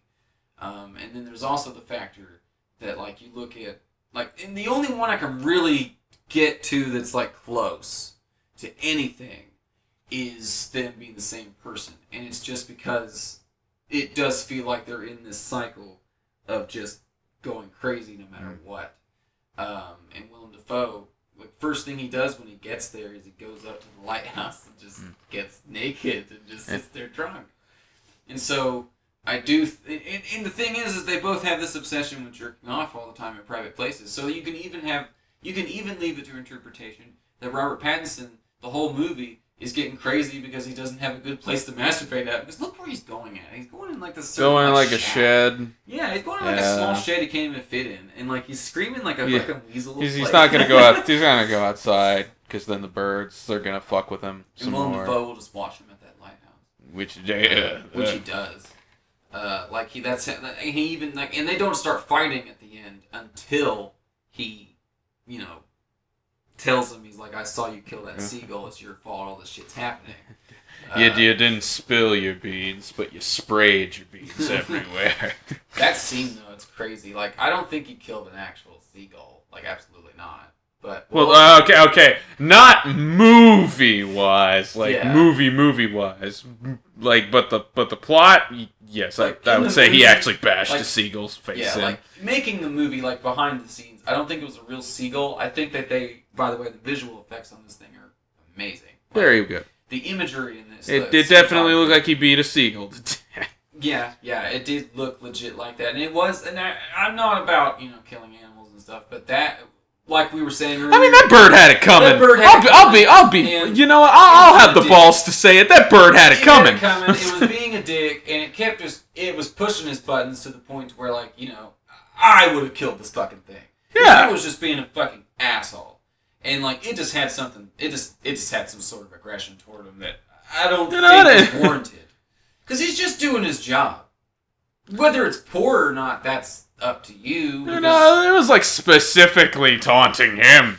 Yeah. like Willem Dafoe never had to square down with this seagull. Like it was, it was just, it was just fucking Robert Pattinson. He's like, yeah, you know, I'm, I'm gonna mess with this motherfucker. It's, it's like initiation. It's like a college initiation. Like, yeah, if you can stand the seagull, you get in the sorority, bitch. Do you think the seagull that's pissing him off the whole time is just the Twilight fans being like, "We liked you better in Twilight," and he just, you know, It's Taylor. It's Taylor Lautner.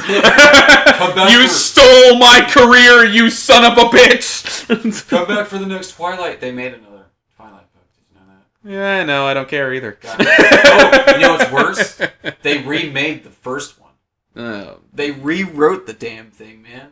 well, so wait till Well- they redo those again. well, okay. It's Here- fucking. Okay, okay. Here's the thing. Here's here's good. something that I always find interesting is that give give a writer, you know, you take their first work, ask them to rewrite it years later. They're probably going to do something different. Yeah. Like I mean, not not something different exactly. Say like plot wise, because odds are they'll probably keep the plot the same. But in terms of how we get there, probably different. You know, I, I would definitely say that you know, uh, the you know, just just random side topic. Um, odds are George Lucas would probably do the prequels different now. Oh, absolutely. Yeah, no, Yeah. he he would he would more than likely do different things now for them. Yeah. Yeah. in all likelihood.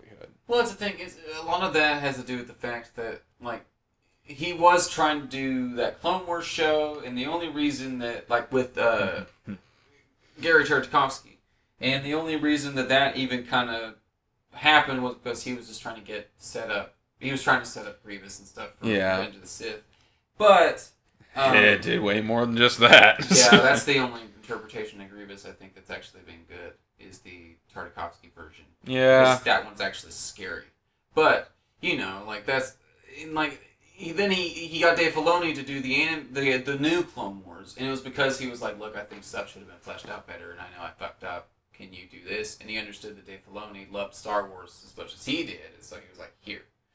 Uh, but like that's the thing with this this movie is that like you can tell every shot, every line, every single moment in this movie is something that the, this this that the director really really wanted to film. Yeah, It doesn't undeniable. it doesn't feel like a fucking cash grab product like a lot of the like the Amazing Spider-Man movies, for example, or you know like uh, That'll be a topic for another day, ladies and gentlemen. yeah, I'm dreading it. I really don't want to truck through those movies again, but I know I'm gonna have to uh, just to get them out there. Hey man, why do you think I didn't want to do the Suicide Squad Oh, comparison one? I don't want to do that either. But the upside is that what I'm going to do for that is I'm setting up this thing where I'm going to have a segment called the the shit stamp, and at the end, I'm, Shit. I'm gonna co- yeah. So like the shit stamp, I'm gonna make it to where uh, each episode of the shit stamp is us talking about really really bad movies, and at the end of every episode, the outro is a really loud, really gross fart noise, and that is the shit stamp being put on. Hmm. Uh, so that's kind of my idea for what I'm gonna do there. Uh, the whole, basically, I'm setting it up to where like when we review bad movies, it's gonna be the shit stamp Uh, reviews. Also, real quick, I know this isn't even really the episode, but I just want to go ahead and say it. You people wanting the Ayer cut, good, good for you. Stop it! Yeah. There's I'm- no good movie there. Well, that's the thing. I, I think I mentioned that in one of my other episodes is that I don't really give a shit about the whole Ayer cut thing, and it's because like everybody's trying to get. It's because of the Snyderverse thing. They think it's the Snyderverse stuff, but Snyder didn't really have anything to do with that movie. I don't. It's, if he did, he definitely doesn't want anything to do with it now. No, absolutely, and like it's because he strayed so far from what David Ayer was trying to do. And David Ayer, let's face it, I know that you like one of his movies, or at least Uh, you I- told me. I like End of the Watch. I think End of the Watch is it's by no means perfect, but I think it's fairly well done. I think that's probably the best movie that um I think I think Michael Pena is the one in that movie. Uh, Jake Gyllenhaal, of course, always does a great job. Right, Um, yeah. but like like him and Michael Pena do really good in that. Um, I think I think in all honesty, it's a pretty pretty fine cop movie. It won't change your life, but I think I think it's a fine movie. Well, that's the thing. I I don't think David Ayer makes good movies at all. I don't think any of his films have been good. Mm. And I was telling you in the car earlier that there was uh, like I was on Instagram one time and I was talking to somebody and they were like, well, basically they were making fun of like, well, they were being like, hey, I'm really excited for the David Ayer cut. What about you guys? And I looked at the comments and all these people were like, oh man, this one's gonna be great. That other one, like the James Gunn one, sucks. And I got real pissed and I commented, well, yeah, I got pissed, and I, I, like, I don't do this, and, but I got mad, and I commented, and I was like, David Ayer doesn't make good movies. Why the fuck are you wanting to fight for a Uh. movie that no one fucking cares about? Uh. Like, a longer version of a bad movie? You really, really? oh, oh, oh, oh, okay, okay. My thing is, here, here's the fucking shit. This was about the lighthouse. Oh, well, I fucking can, shit. I can use these. This, this is the Suicide Squad section of the podcast, ladies and gentlemen. Might as fucking well. Well, I can add. Uh, I can actually cut it to where like uh, we can have an extra ten minute episode that's just us talking about the Ayer cut and stuff like that. Yeah, you know what? Fuck it. We've basically said our piece with the lighthouse anyway. The so Lighthouse is good. Ten out of ten. You 10. should watch it. Ten out of ten for me it's not personally. for the, ten out of ten. Yeah, Yeah. like easily. Like it, it's not for the faint of heart, uh, easily. But it, And and if you want non subtle horror, trust me, this ain't the this ain't the film. no, it's, no, it, it's no very subtlety. subtle. Yeah. Uh, it's very, very, it's very in your face, but it's very patient about it. What? Well, yeah, that, that's what exactly what I mean by like Yeah. subtlety. There isn't like Right, you know per se like a fucking Michael Myers scare in there anyway. But yeah, ten out of ten. Uh, held up very well. the soundtrack's good too. I didn't mention that. Oh, the soundtrack's great. The soundtrack's Soundtrack's so great. good. Uh, the sound editing's good. Uh, even the aspect ratio, ratio. You mentioned that, and like I wanted to say this because I mentioned it to you earlier. I think that uh, what happened because this came out in 2019. I think what happened with the Snyder cut is that Zack Snyder saw this movie, saw the Lighthouse when it came out. He was like, "I like that aspect ratio. I'm gonna do that with Mhm. Justice League." Just because he thought he'd be artsy. I, I, I, I honestly, okay. Here, here's the thing for the Snyder cut. I feel like, uh, I mean, I mean, there's kind, there's no reason for him to do it, but I think it works. I think, I think it works for the Snyder cut. I like that it's, oh no! I like it's very it. distinct. I like it. It's Mm-hmm. just that I think that I don't think it was him being like art, like having an artistic reason to do it, like Roger I- Eggers. That's his name, right? Yeah, Eggers. Uh, Eggers, like Roger Eggers did, where he was actually trying to make Ju- it ju- look like an old timey movie, Just which cut- it does. Just go ahead and call him Eggman. Well, fine. Well, the director, you know, like I think that like as far as the aspect ratio choice goes, that was him trying to make it actually look like an old vintage movie, whereas Zack Snyder, I think he was just trying to be artsy and you know, oh look at me, look what I did, you know, it's like thing. But I do, I, it works in Justice League too. You know, like Yeah. I, I do like it. Like better, better than changing every five fucking seconds, James Wan. yeah, like don't get me wrong, I like James Wan movies. It's just that I don't. fuck Aquaman. Yeah, Aquaman's not Man, good. fuck Aquaman. Uh, the the only Ja- reason that movie's interesting is you know Jason Momoa. Yeah, Uh, which yeah, I was actually about to say I'm like the the best part about that movie, hands down, is the title character himself. I think Aquaman's very good in that movie. Yeah. Uh, but the thing is, is that like the only person that's really good in that movie is Jason Momoa, and it's not because of Aquaman. It's because it's Jason Momoa. Yeah, he's charismatic. You Yeah. know, and plus also, in in all honesty, Aquaman has had the stigma attached to him for years that he sucks. You know, you know, we've Yeah. seen it with characters like Deep. We've seen it with that fish dude from Invincible.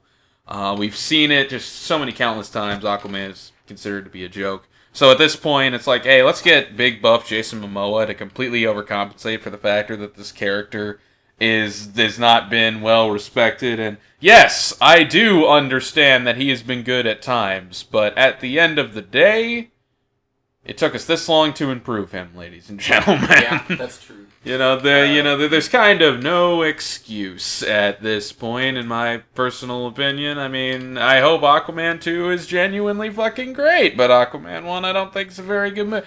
Fuck. Uh, anyway, Lighthouse is a 10 out of 10. yeah, like Lighthouse is real good. I really like the whole. Uh, I really like the man, the aesthetic, the atmosphere.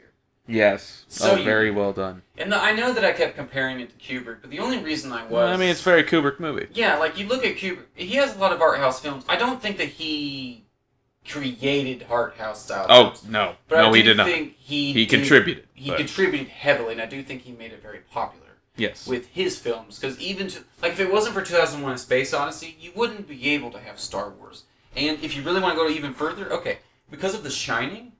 Okay, this is a cool little tidbit that I wanted to tell you about with uh, the The Shining is that like, so in Batman 1989 when they were making that, uh, the reason why they picked Jack Nicholson over Willem Dafoe because he was an option. He was really young at the time. oh my uh, god, why not him? Well, the reason Christ. why is because they had a picture of Jack Nicholson from The Shining. and Oh, drew yeah. colored it to look yeah, like the yeah. Joker. Oh, yeah, that's right. You told me that story. Yeah, exactly. If it story. wasn't for that, Jack Nicholson wouldn't have become the Joker, wouldn't have had a career in the Batman movie. And so, really, like, a good chunk of Stanley Kubrick movies.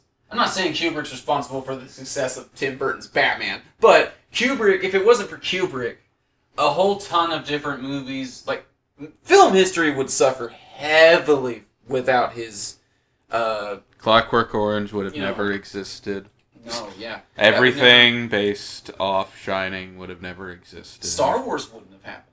Yep. Well, it would have happened. Okay, okay, well, it's quite possible because that's more. I mean, I mean, yes, 2001 definitely played It a hand in that, but. I'm also like Flash Gordon and Akira Kurosawa definitely played the biggest hand. I yeah, feel. yeah, but like the thing is, is that like when you look at uh, like that movie that I'm talking about, 2001: Space Odyssey, uh, it set the bar for sci-fi, and so really like like you and me could do a sci-fi right now, but we would have to watch 2001: Space Odyssey because that is the that is the to go to, you know, when it comes down to it. It's not Star Wars. It's, it's 2001: A Space Odyssey. People seem to kind of confuse that because they think that Star Wars is the big one, and it is. But if it if it 2001 contributed a lot to that because it set the rules and it kind of set the standard for it and kind of kick-started that. It, it popularized the sci-fi genre really Yeah. uh, in '68. Like, and Star Trek was here at the time. And Star Trek was not doing much. Like, don't wrong, li- a lizard in a mask. I love that original show, but it wasn't doing shit. Yeah. You know. So that's the thing. And the re- and the, God knows how many people are going to come out after us after that comment. yeah, well, don't get me wrong. I love Star Wars. So I'm wanting to have episodes on it. And Oh, we uh, are. How the fuck can we not? Yeah, exactly. We're Star Wars fans, and like you know, we're we're- especially since we you know really have issues with the sequel movies.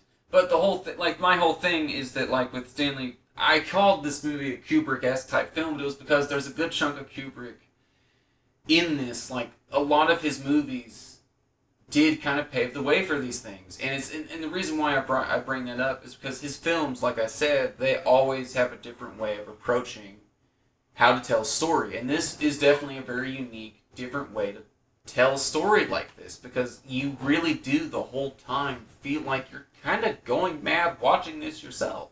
Yeah. Because at the end, you don't even get all the answers. Or at least I didn't get all the answers. I, I still don't even know how the ending really. I don't know the real ending. I don't know what really went down. I just know that these two people were fucking batshit insane on this fucking island. That's about all you get, like we said earlier. Um, and that's You got to get all your madman's knowledge and crush all, crush all those fetuses. and then you get the true end. well, that's what I liked uh, about the movie in the long run was that like it was told in a very unique, strange way in the same vein as Kubrick films that do the same thing, where they're just there's always a different way to tell the story. Yeah. and he was always and he was always trying to break the medium with storytelling. He was always trying to make something different. It was always trying to make a unique way to approach it. And Always. so you look at this movie and like you don't even really meet anyone else that isn't Willem Dafoe, Robert Pattinson, or the Siren. And the dad, but even then, the dad is just there to fuck up Robert Pattinson. He doesn't even say a line. In most of the movie, when you do see him, and it's very rare, it's in the quick shot, like quick cuts. It's the back of the dude's fucking head.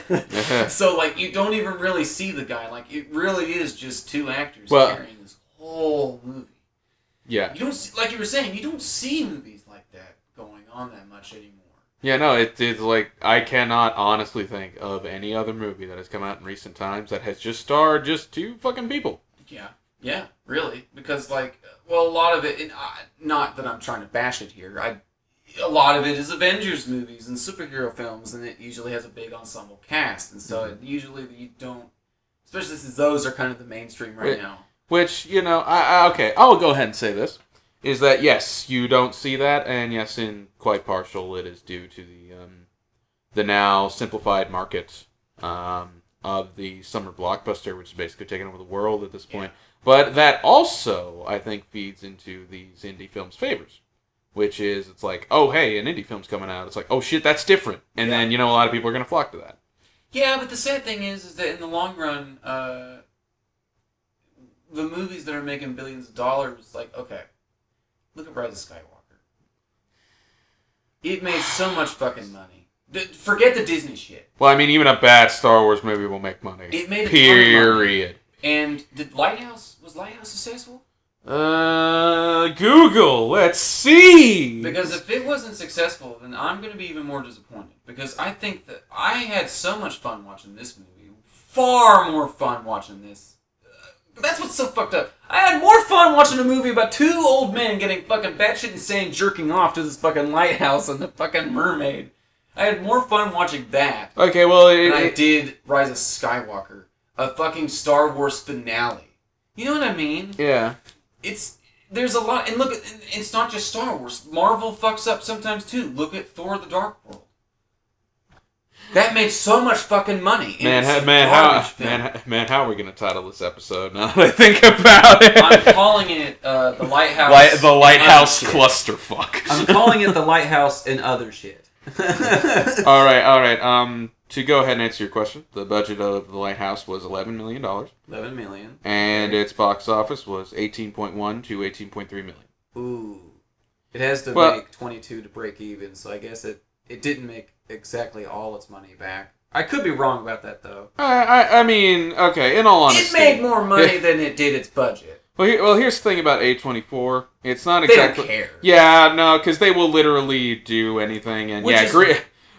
Well, that's why I like that A24 is the one that produced this because they're not like Disney and Warner Brothers and fucking Sony or any other fucking or Fox or any other company out there. They're not worried about their box office success. They're just worried about making some good fucking content. Yeah, And it, because well, look at back in the 80s or at least 90s. distinct. like content. it wasn't about the box office, you know, back in the day. It was about just making good shit, you know, and just Mhm. trying to make the best medium you could. Whether they did or not, it, you know, depends because you know Schumacher and those Batman movies. But so like that's just one of many examples. Yeah, uh, Uh, I mean, I'll at least give them this.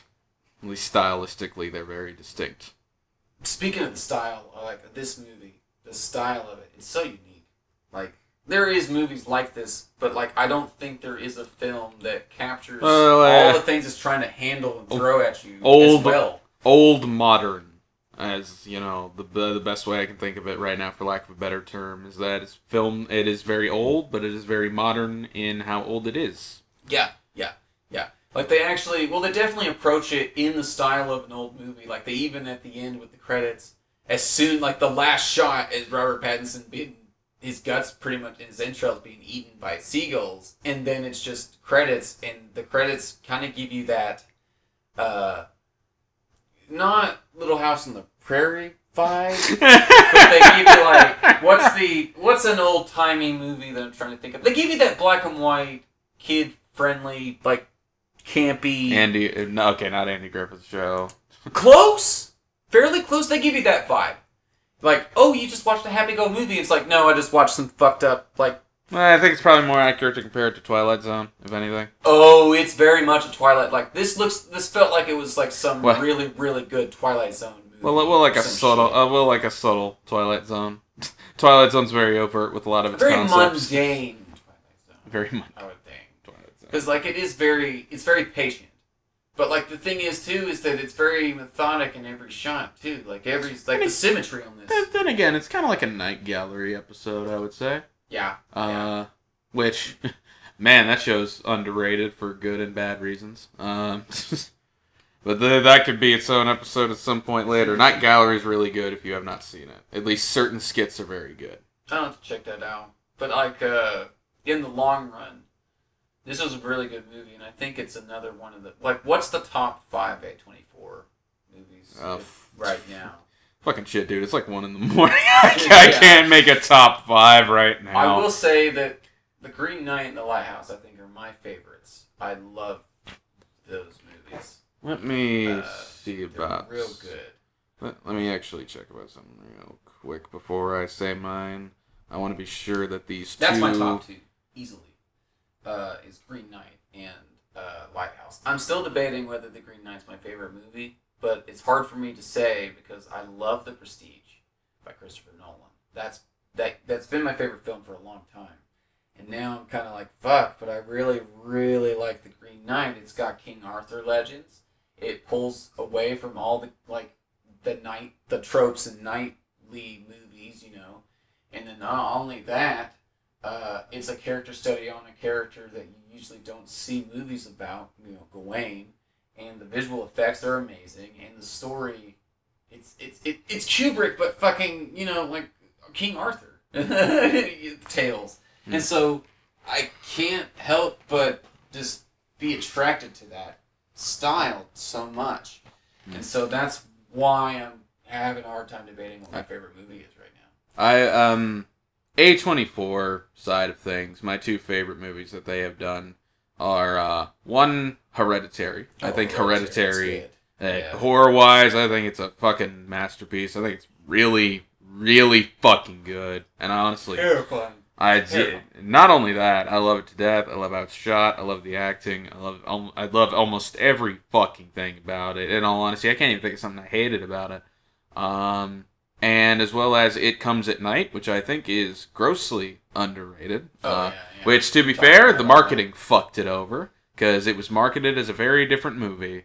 Uh, whereas, um, you know, it's like, oh, there could be a beast in the woods. It's like, oh, it comes at night. Uh, we probably won't get into it this episode, but I will definitely say that's not what the fucking movie's about. No. Don't go in thinking that. It's it's not what it's about. Well, that's a, all right. uh, Speaking of going into the A24 movies and thinking you're going to get one thing and get the other, uh, with the Lighthouse, with the way it's marketed, you don't really think it's going to have Lovecraft stuff in it. You kind of walk in thinking it's just going to be a drama about these two guys stuck at this lighthouse. They discover It some is. horrifying secrets in the lighthouse, and Yeah. then they make love at the end.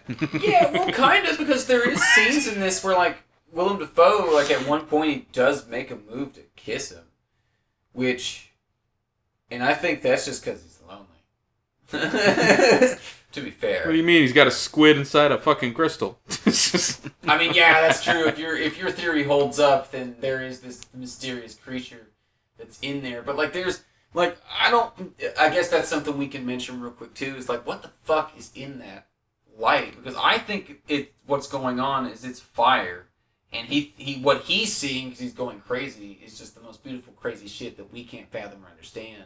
And he puts his hand in it, and it just starts burning his hand alive. And at first he likes it, and then he realizes, "Ow, it's fucking hurting my hand!" And then he falls down the stairs and kills himself. I, I, w- I would say it's most definitely probably like a sea god of some sort. like, yeah, Um, some sort of eldritch being. Yeah. The the, re- Uh, the reason I say that is um, actually now that I think about it, this could also feed a little bit into it. Um, whenever Willem Dafoe's up there, he never touches it, No, he doesn't. whereas He's- Robert Pattinson does and pays the price immediately. Yes, yes. I kind of like that. Uh, has that "you flew too close to the sun" type Yep. thing. But Willem Dafoe was looking right at it. Yeah, it was jerking he, all he was doing was looking at it. Well, That was it. it. Stri- strip club rules. You can look, but you can't touch. yeah, yeah, that's true. Uh, but oh man, Fucking sea god doing a lap dance on Willem Dafoe. Where's that movie? well, that's the thing. There is that argument to say that he is a sea god because whenever you see him with the you know, crustaceans on his head, uh, looking like the sea god he describes um, throughout the movie, you see him with tentacles and stuff trying to choke Robert Pattinson. Uh, oh yeah, I thought that was real funny in the movie where Robert Pattinson's like making him bark. well, yeah, I mean this Movie's movie. the- nuts. I mean the movie's also a dark comedy. Yeah, in a way, but like I don't, I don't take it in that comedic way. It's just sinister. I take it in this real sinister. Uh, I mean, you vibe. can, you can be sinister and funny at the same time. Look at e- look at Evil Dead, Well, the, well, the only reason, like, I don't, I don't see it as like or any Stephen King thing ever. Stephen King. That's a whole. I need to. Do an episode on it. That's a five-hour episode right there. Well, that's the thing. I actually wanted to do an episode dedicated to just talking about Stephen, because you know how I did want to do an episode on Joss Whedon and kind of the controversies there, and I did also want to do kind of the same thing with Stephen King and be like, here's his good stuff, here's all his bad shit because he's got a lot of bad stuff. Do you have Uh, any idea how long we'll be there? It'll be a while. Yeah, no, I'm like, holy shit. We like you would we would need to get a good dinner. We would need to fucking went to the bathroom, be ready to sit down for hours. Yeah, I know. Oh, holy shit. Much like this episode. Well, no, but like I, I did want to. Um, I'm eventually going to want to do a bunch more reviews for A24 movies because I am in love with that studio and their films and the films they've been producing so far. Hell, I wish that I had their marketing team for my shit. You know, if I, you know, if I Well, well, stuff, you know. well, I'm not sure about that because A24's marketing department, or at least whoever they get to market, sometimes fucks over their movies. Like in the case of It Comes at Night. That I remember that That's really. Fucking true. it over. That's very true. I will say that they did mess up with that, but I don't think they messed up with Green Knight or Lighthouse or even the Big. Yeah, no, that that was more or less audiences just not getting what A24 is, even in the slightest. Which is stupid because like A twenty four, they're all about art house films and stuff like Right. that. And it's clearly obvious. All their films are that. Most of them are horror, but they're horror art house films. Eh, actually, let me look that up. Let me see how much Green Knight made. I hope it made at least decent. The last I saw, and it was when we saw it, uh, it made ten million, and it had a budget of fifteen. Oh, it just made two million over its budget. really? Yeah, just two million. Do you think that that had to do I- with COVID, or do you think? I okay, was- okay. I think it's a little bit of both. I think it's genuinely a little bit of both because whenever it comes to medieval storytelling right now, we're all kind of used to the Game of Thrones, Witcher style type of things. And that's probably what audiences had expected as well. And as well as the factor of since COVID's hitting us hard all over again, um, I, I think that definitely plays into it, which is a shame. But I'm also like, yeah, but we also have another good A24 movie out there, and I don't really think how much they make back bothers them even slightly. Well, yeah, but like the other thing too is that like it just it disappoints me because like you look at movies like Thor: the Dark, like I was saying earlier, Thor: the Dark World making all kinds of money, and that movie sucks. It's not a good movie. Or like Attack of the Clones, for example, not a good fucking movie at all by any fucking extremes. I mean, it's it's And- brand recognition as well. Yeah, but then you look at the Green Knight, and it's such an amazing film. Like, I'm gonna be pissed if this doesn't win some sort of Oscar because it's so goddamn good. I mean, I mean, the Oscars are also a little bit rigged. oh well, I know that. I've I I want to do an episode on that too because I don't like. I mean, A twenty. I mean, has A twenty four ever won an Oscar? I'm not sure. I don't think Uh, they ever have, which I is very think unfortunate. Care though, and that's Even why though, I like, them. I mean, even though Uh, like Toni Collette for Hereditary should have been nominated that year whenever it came out. Should. Toni Collette fucking killed that movie. yeah, yeah, I agree. Carried it on her fucking back. Woman's a champ. Well, well, that's the thing. A lot of these A24 uh, movies are fucking well cast. God so damn. well, so well cast. Like uh, the guy they got to play, uh, you know, Gawain. Dev Patel. Yeah, Dev Patel. God damn. Yeah, really good. What the hell? Really sucks that he had to play Zuko in fucking Last Airbender. I always forget about that because I love him so much. To, to, okay, I want to be real. I want a whole episode on that. We'll have to. Do I want a whole episode on Last Airbender. Just a whole episode dedicated to We to can it. do it. I I would not mind because I honestly love taking a massive shit on that movie. Well, we'll Fuck definitely it. do it. It makes me mad. I'd be down, especially since uh, there is a lot of stuff about like with the last Airbender studio coming up that you know like is a big deal right now. that and there's the other live ad- action adaptation that's coming out, which has me just as worried. Yeah, me too. I wasn't. I'm not at all really excited for it. Like I'm looking forward to their animated stuff and how like they basically got Nickelodeon finally gave the last Airbender crew their own like Marvel studio, like their own Lucas Arts. Nah, not like they got other shit going on. No, but like now they have their own. At least like, animated wise. Yeah, but they have their own like Lucas Arts studio now, and that's that's a big deal. Not only well That's earned, happening not only well earned, well deserved, fucking well everything. Oh, also, you cowards out there. Yeah, book two of Korra sucks. Three and four overcompensate for it. So get get on it now. Yeah, like shit. But no, like if you love art house films and you love like fucking uh, Roger Eggers and you like A24 or even if you're just trying to watch a really good horror drama comedy, you know, movie, you should certainly watch The Lighthouse. It's great. This movie's amazing. Very, Like, very, very well done. it's a very, very well well, executed film. Like everything about it from beginning to end, it's just flawless. I don't really think there's a flaw in the movie because it does explain it. Like to be fair, even if you did find a flaw, it kind of would explain itself because it's so open ended and so ambiguous. Mm. It's just such a well executed movie, and it's eight. It's been a while since there's been well executed films, especially since most movies now are kind of under the reign of Disney. And so, and that's not just me trying to bash Disney here, but like, think about it. They own Marvel. They own. They technically own Warner Brothers and DC. If you want to get real technical, and then they Uh, also. well, okay. I, I don't know about that. No, really, Warner look- Brothers does make just as much of a killing. if you look it up, uh, like on the like Google pulls up and says yes, they own Warner Brothers and DC. It's just not like not as massively as they do Marvel. It's kind of like kind of like how uh, Universal has very very very loose rights to Hulk, but they have enough to be in control of certain shit. It's kind of the same. we will never get another Hulk movie. We're getting a She-Hulk.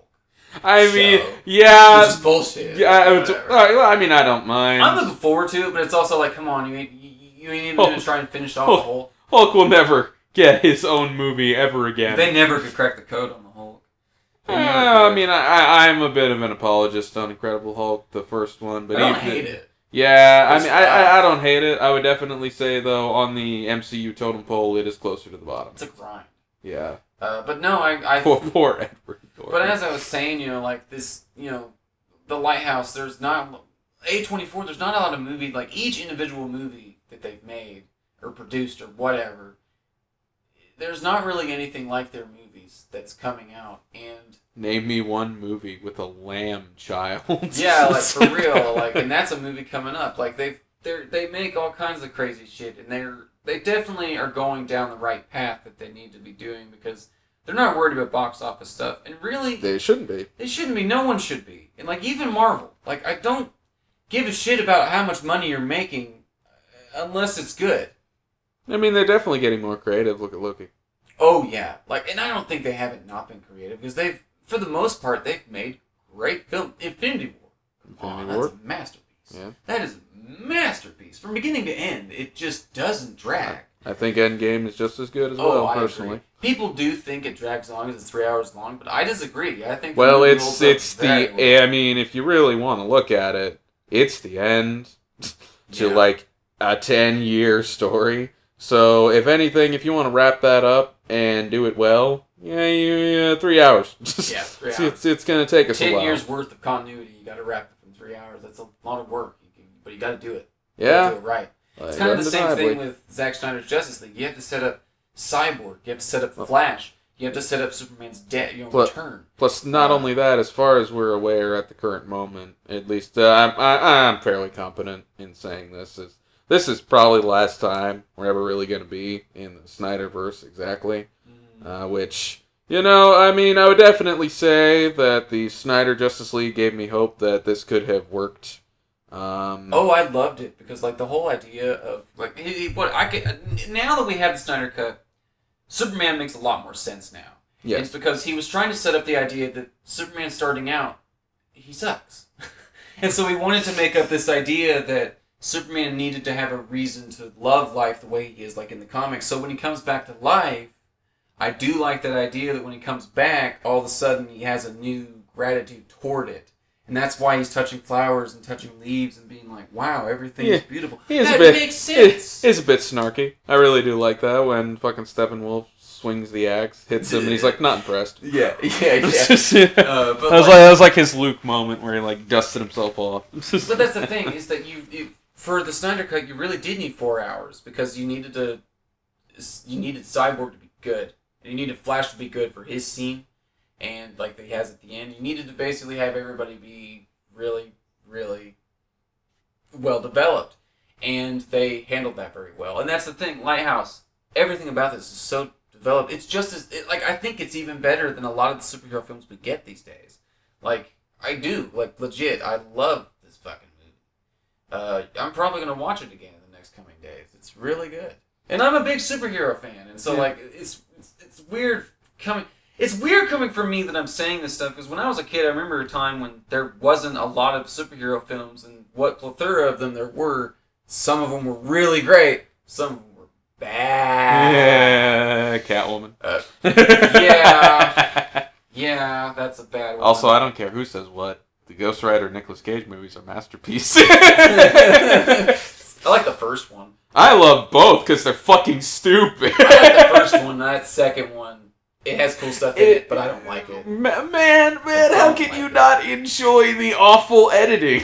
I, you know how I am, especially since I've edited a lot before. I just, I fucking hate it. I just can't take it seriously. And that's something too. The editor of Lighthouse, man, he did some really good uh, stuff in this. Like he or she, whoever. The editor for fucking Lighthouse was really good. Like having to pretty much put all these pieces together and get it all in black and white and actually make sure that everything, like the color, because even the color and the shadows and stuff look great. Like you can see everything. It's not like Zack Snyder movies where like sometimes things are just too dark to see, or like Joss Whedon where everything's just kind of brightened up a lot. It's just, it's it's good. And like, like you look at WandaVision for example, and like their black and white was good, but they had to like change certain stuff. Like with Vision, they had to paint him blue instead of red because when it was red, it was too dark for black and white, and they filmed it in black and oh white. shit, I didn't actually know that. So they had to paint him blue instead. That's really cool. Uh, yeah, and then like add the rest in CGI. Uh, but yeah, like so they probably had to do stuff like that. I'm sure they had to do shit like that with this movie, which is probably why Robert Pattinson's wearing red and blue the whole movie. Like for, like I was saying earlier. yeah, it probably would have. It probably would have fucked with how the movie is with its color. Yeah, that's what I was saying because they filmed it in black and white, and so I think what happened. That's why he looks like. That's why he has that color on his you know clothing, is because it it it popped out better in black and white. There's stuff like that that you have to consider when you're making a movie like this. And And this like, man, this really is the lighthouse and other shit. well, yeah, exactly. But like that's the thing is that it's it's there's a lot of stuff going on with this movie. There's a lot of layers, and it's really just it's quite compelling how each piece kind of fits together, and you still don't really get the inches because it's a well thought out, well crafted, just well handled film.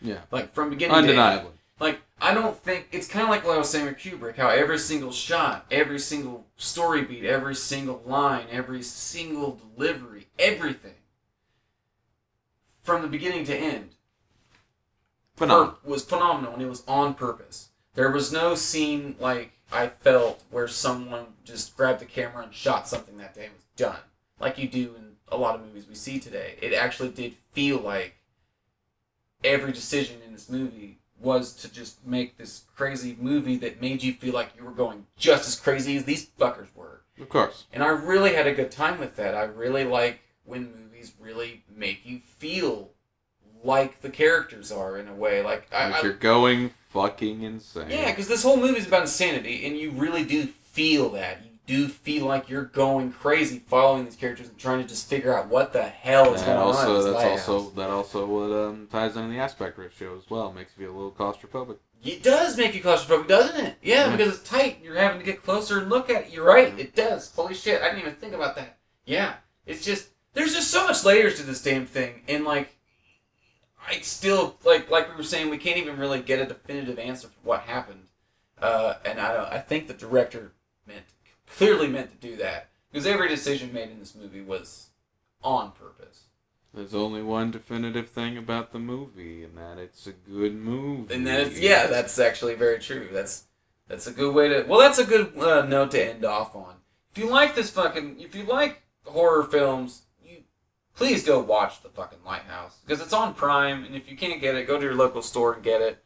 It's really good. It's worth your time. rent it, You Buy it. Watch it. It's so good. have a steak, and fuck it. yeah, yeah, no, fuck it. Yeah, why not? It's great. Don't eat lobster all the fucking time though. Shit. Probably don't fuck a steak. I don't know how well that'll turn out for you. I don't recommend having sex with uh, a siren either. They'll try to drown you. They also don't have vaginas. No, no, No, they don't. As Uh, far as I'm aware, sorry to our siren listeners. My god. Uh, I don't think they would be because they can't carry electricity and stuff down in the water. They'll electrocute themselves. so you say that, but Aquaman. That's very true. Well, that's the end of this episode. Uh, Aquaman 2, 10 out of 10. I love the part where Willem Dafoe appeared in one of the dream sequences, and he's like, "Oh, the lobster is the key. You were right about him."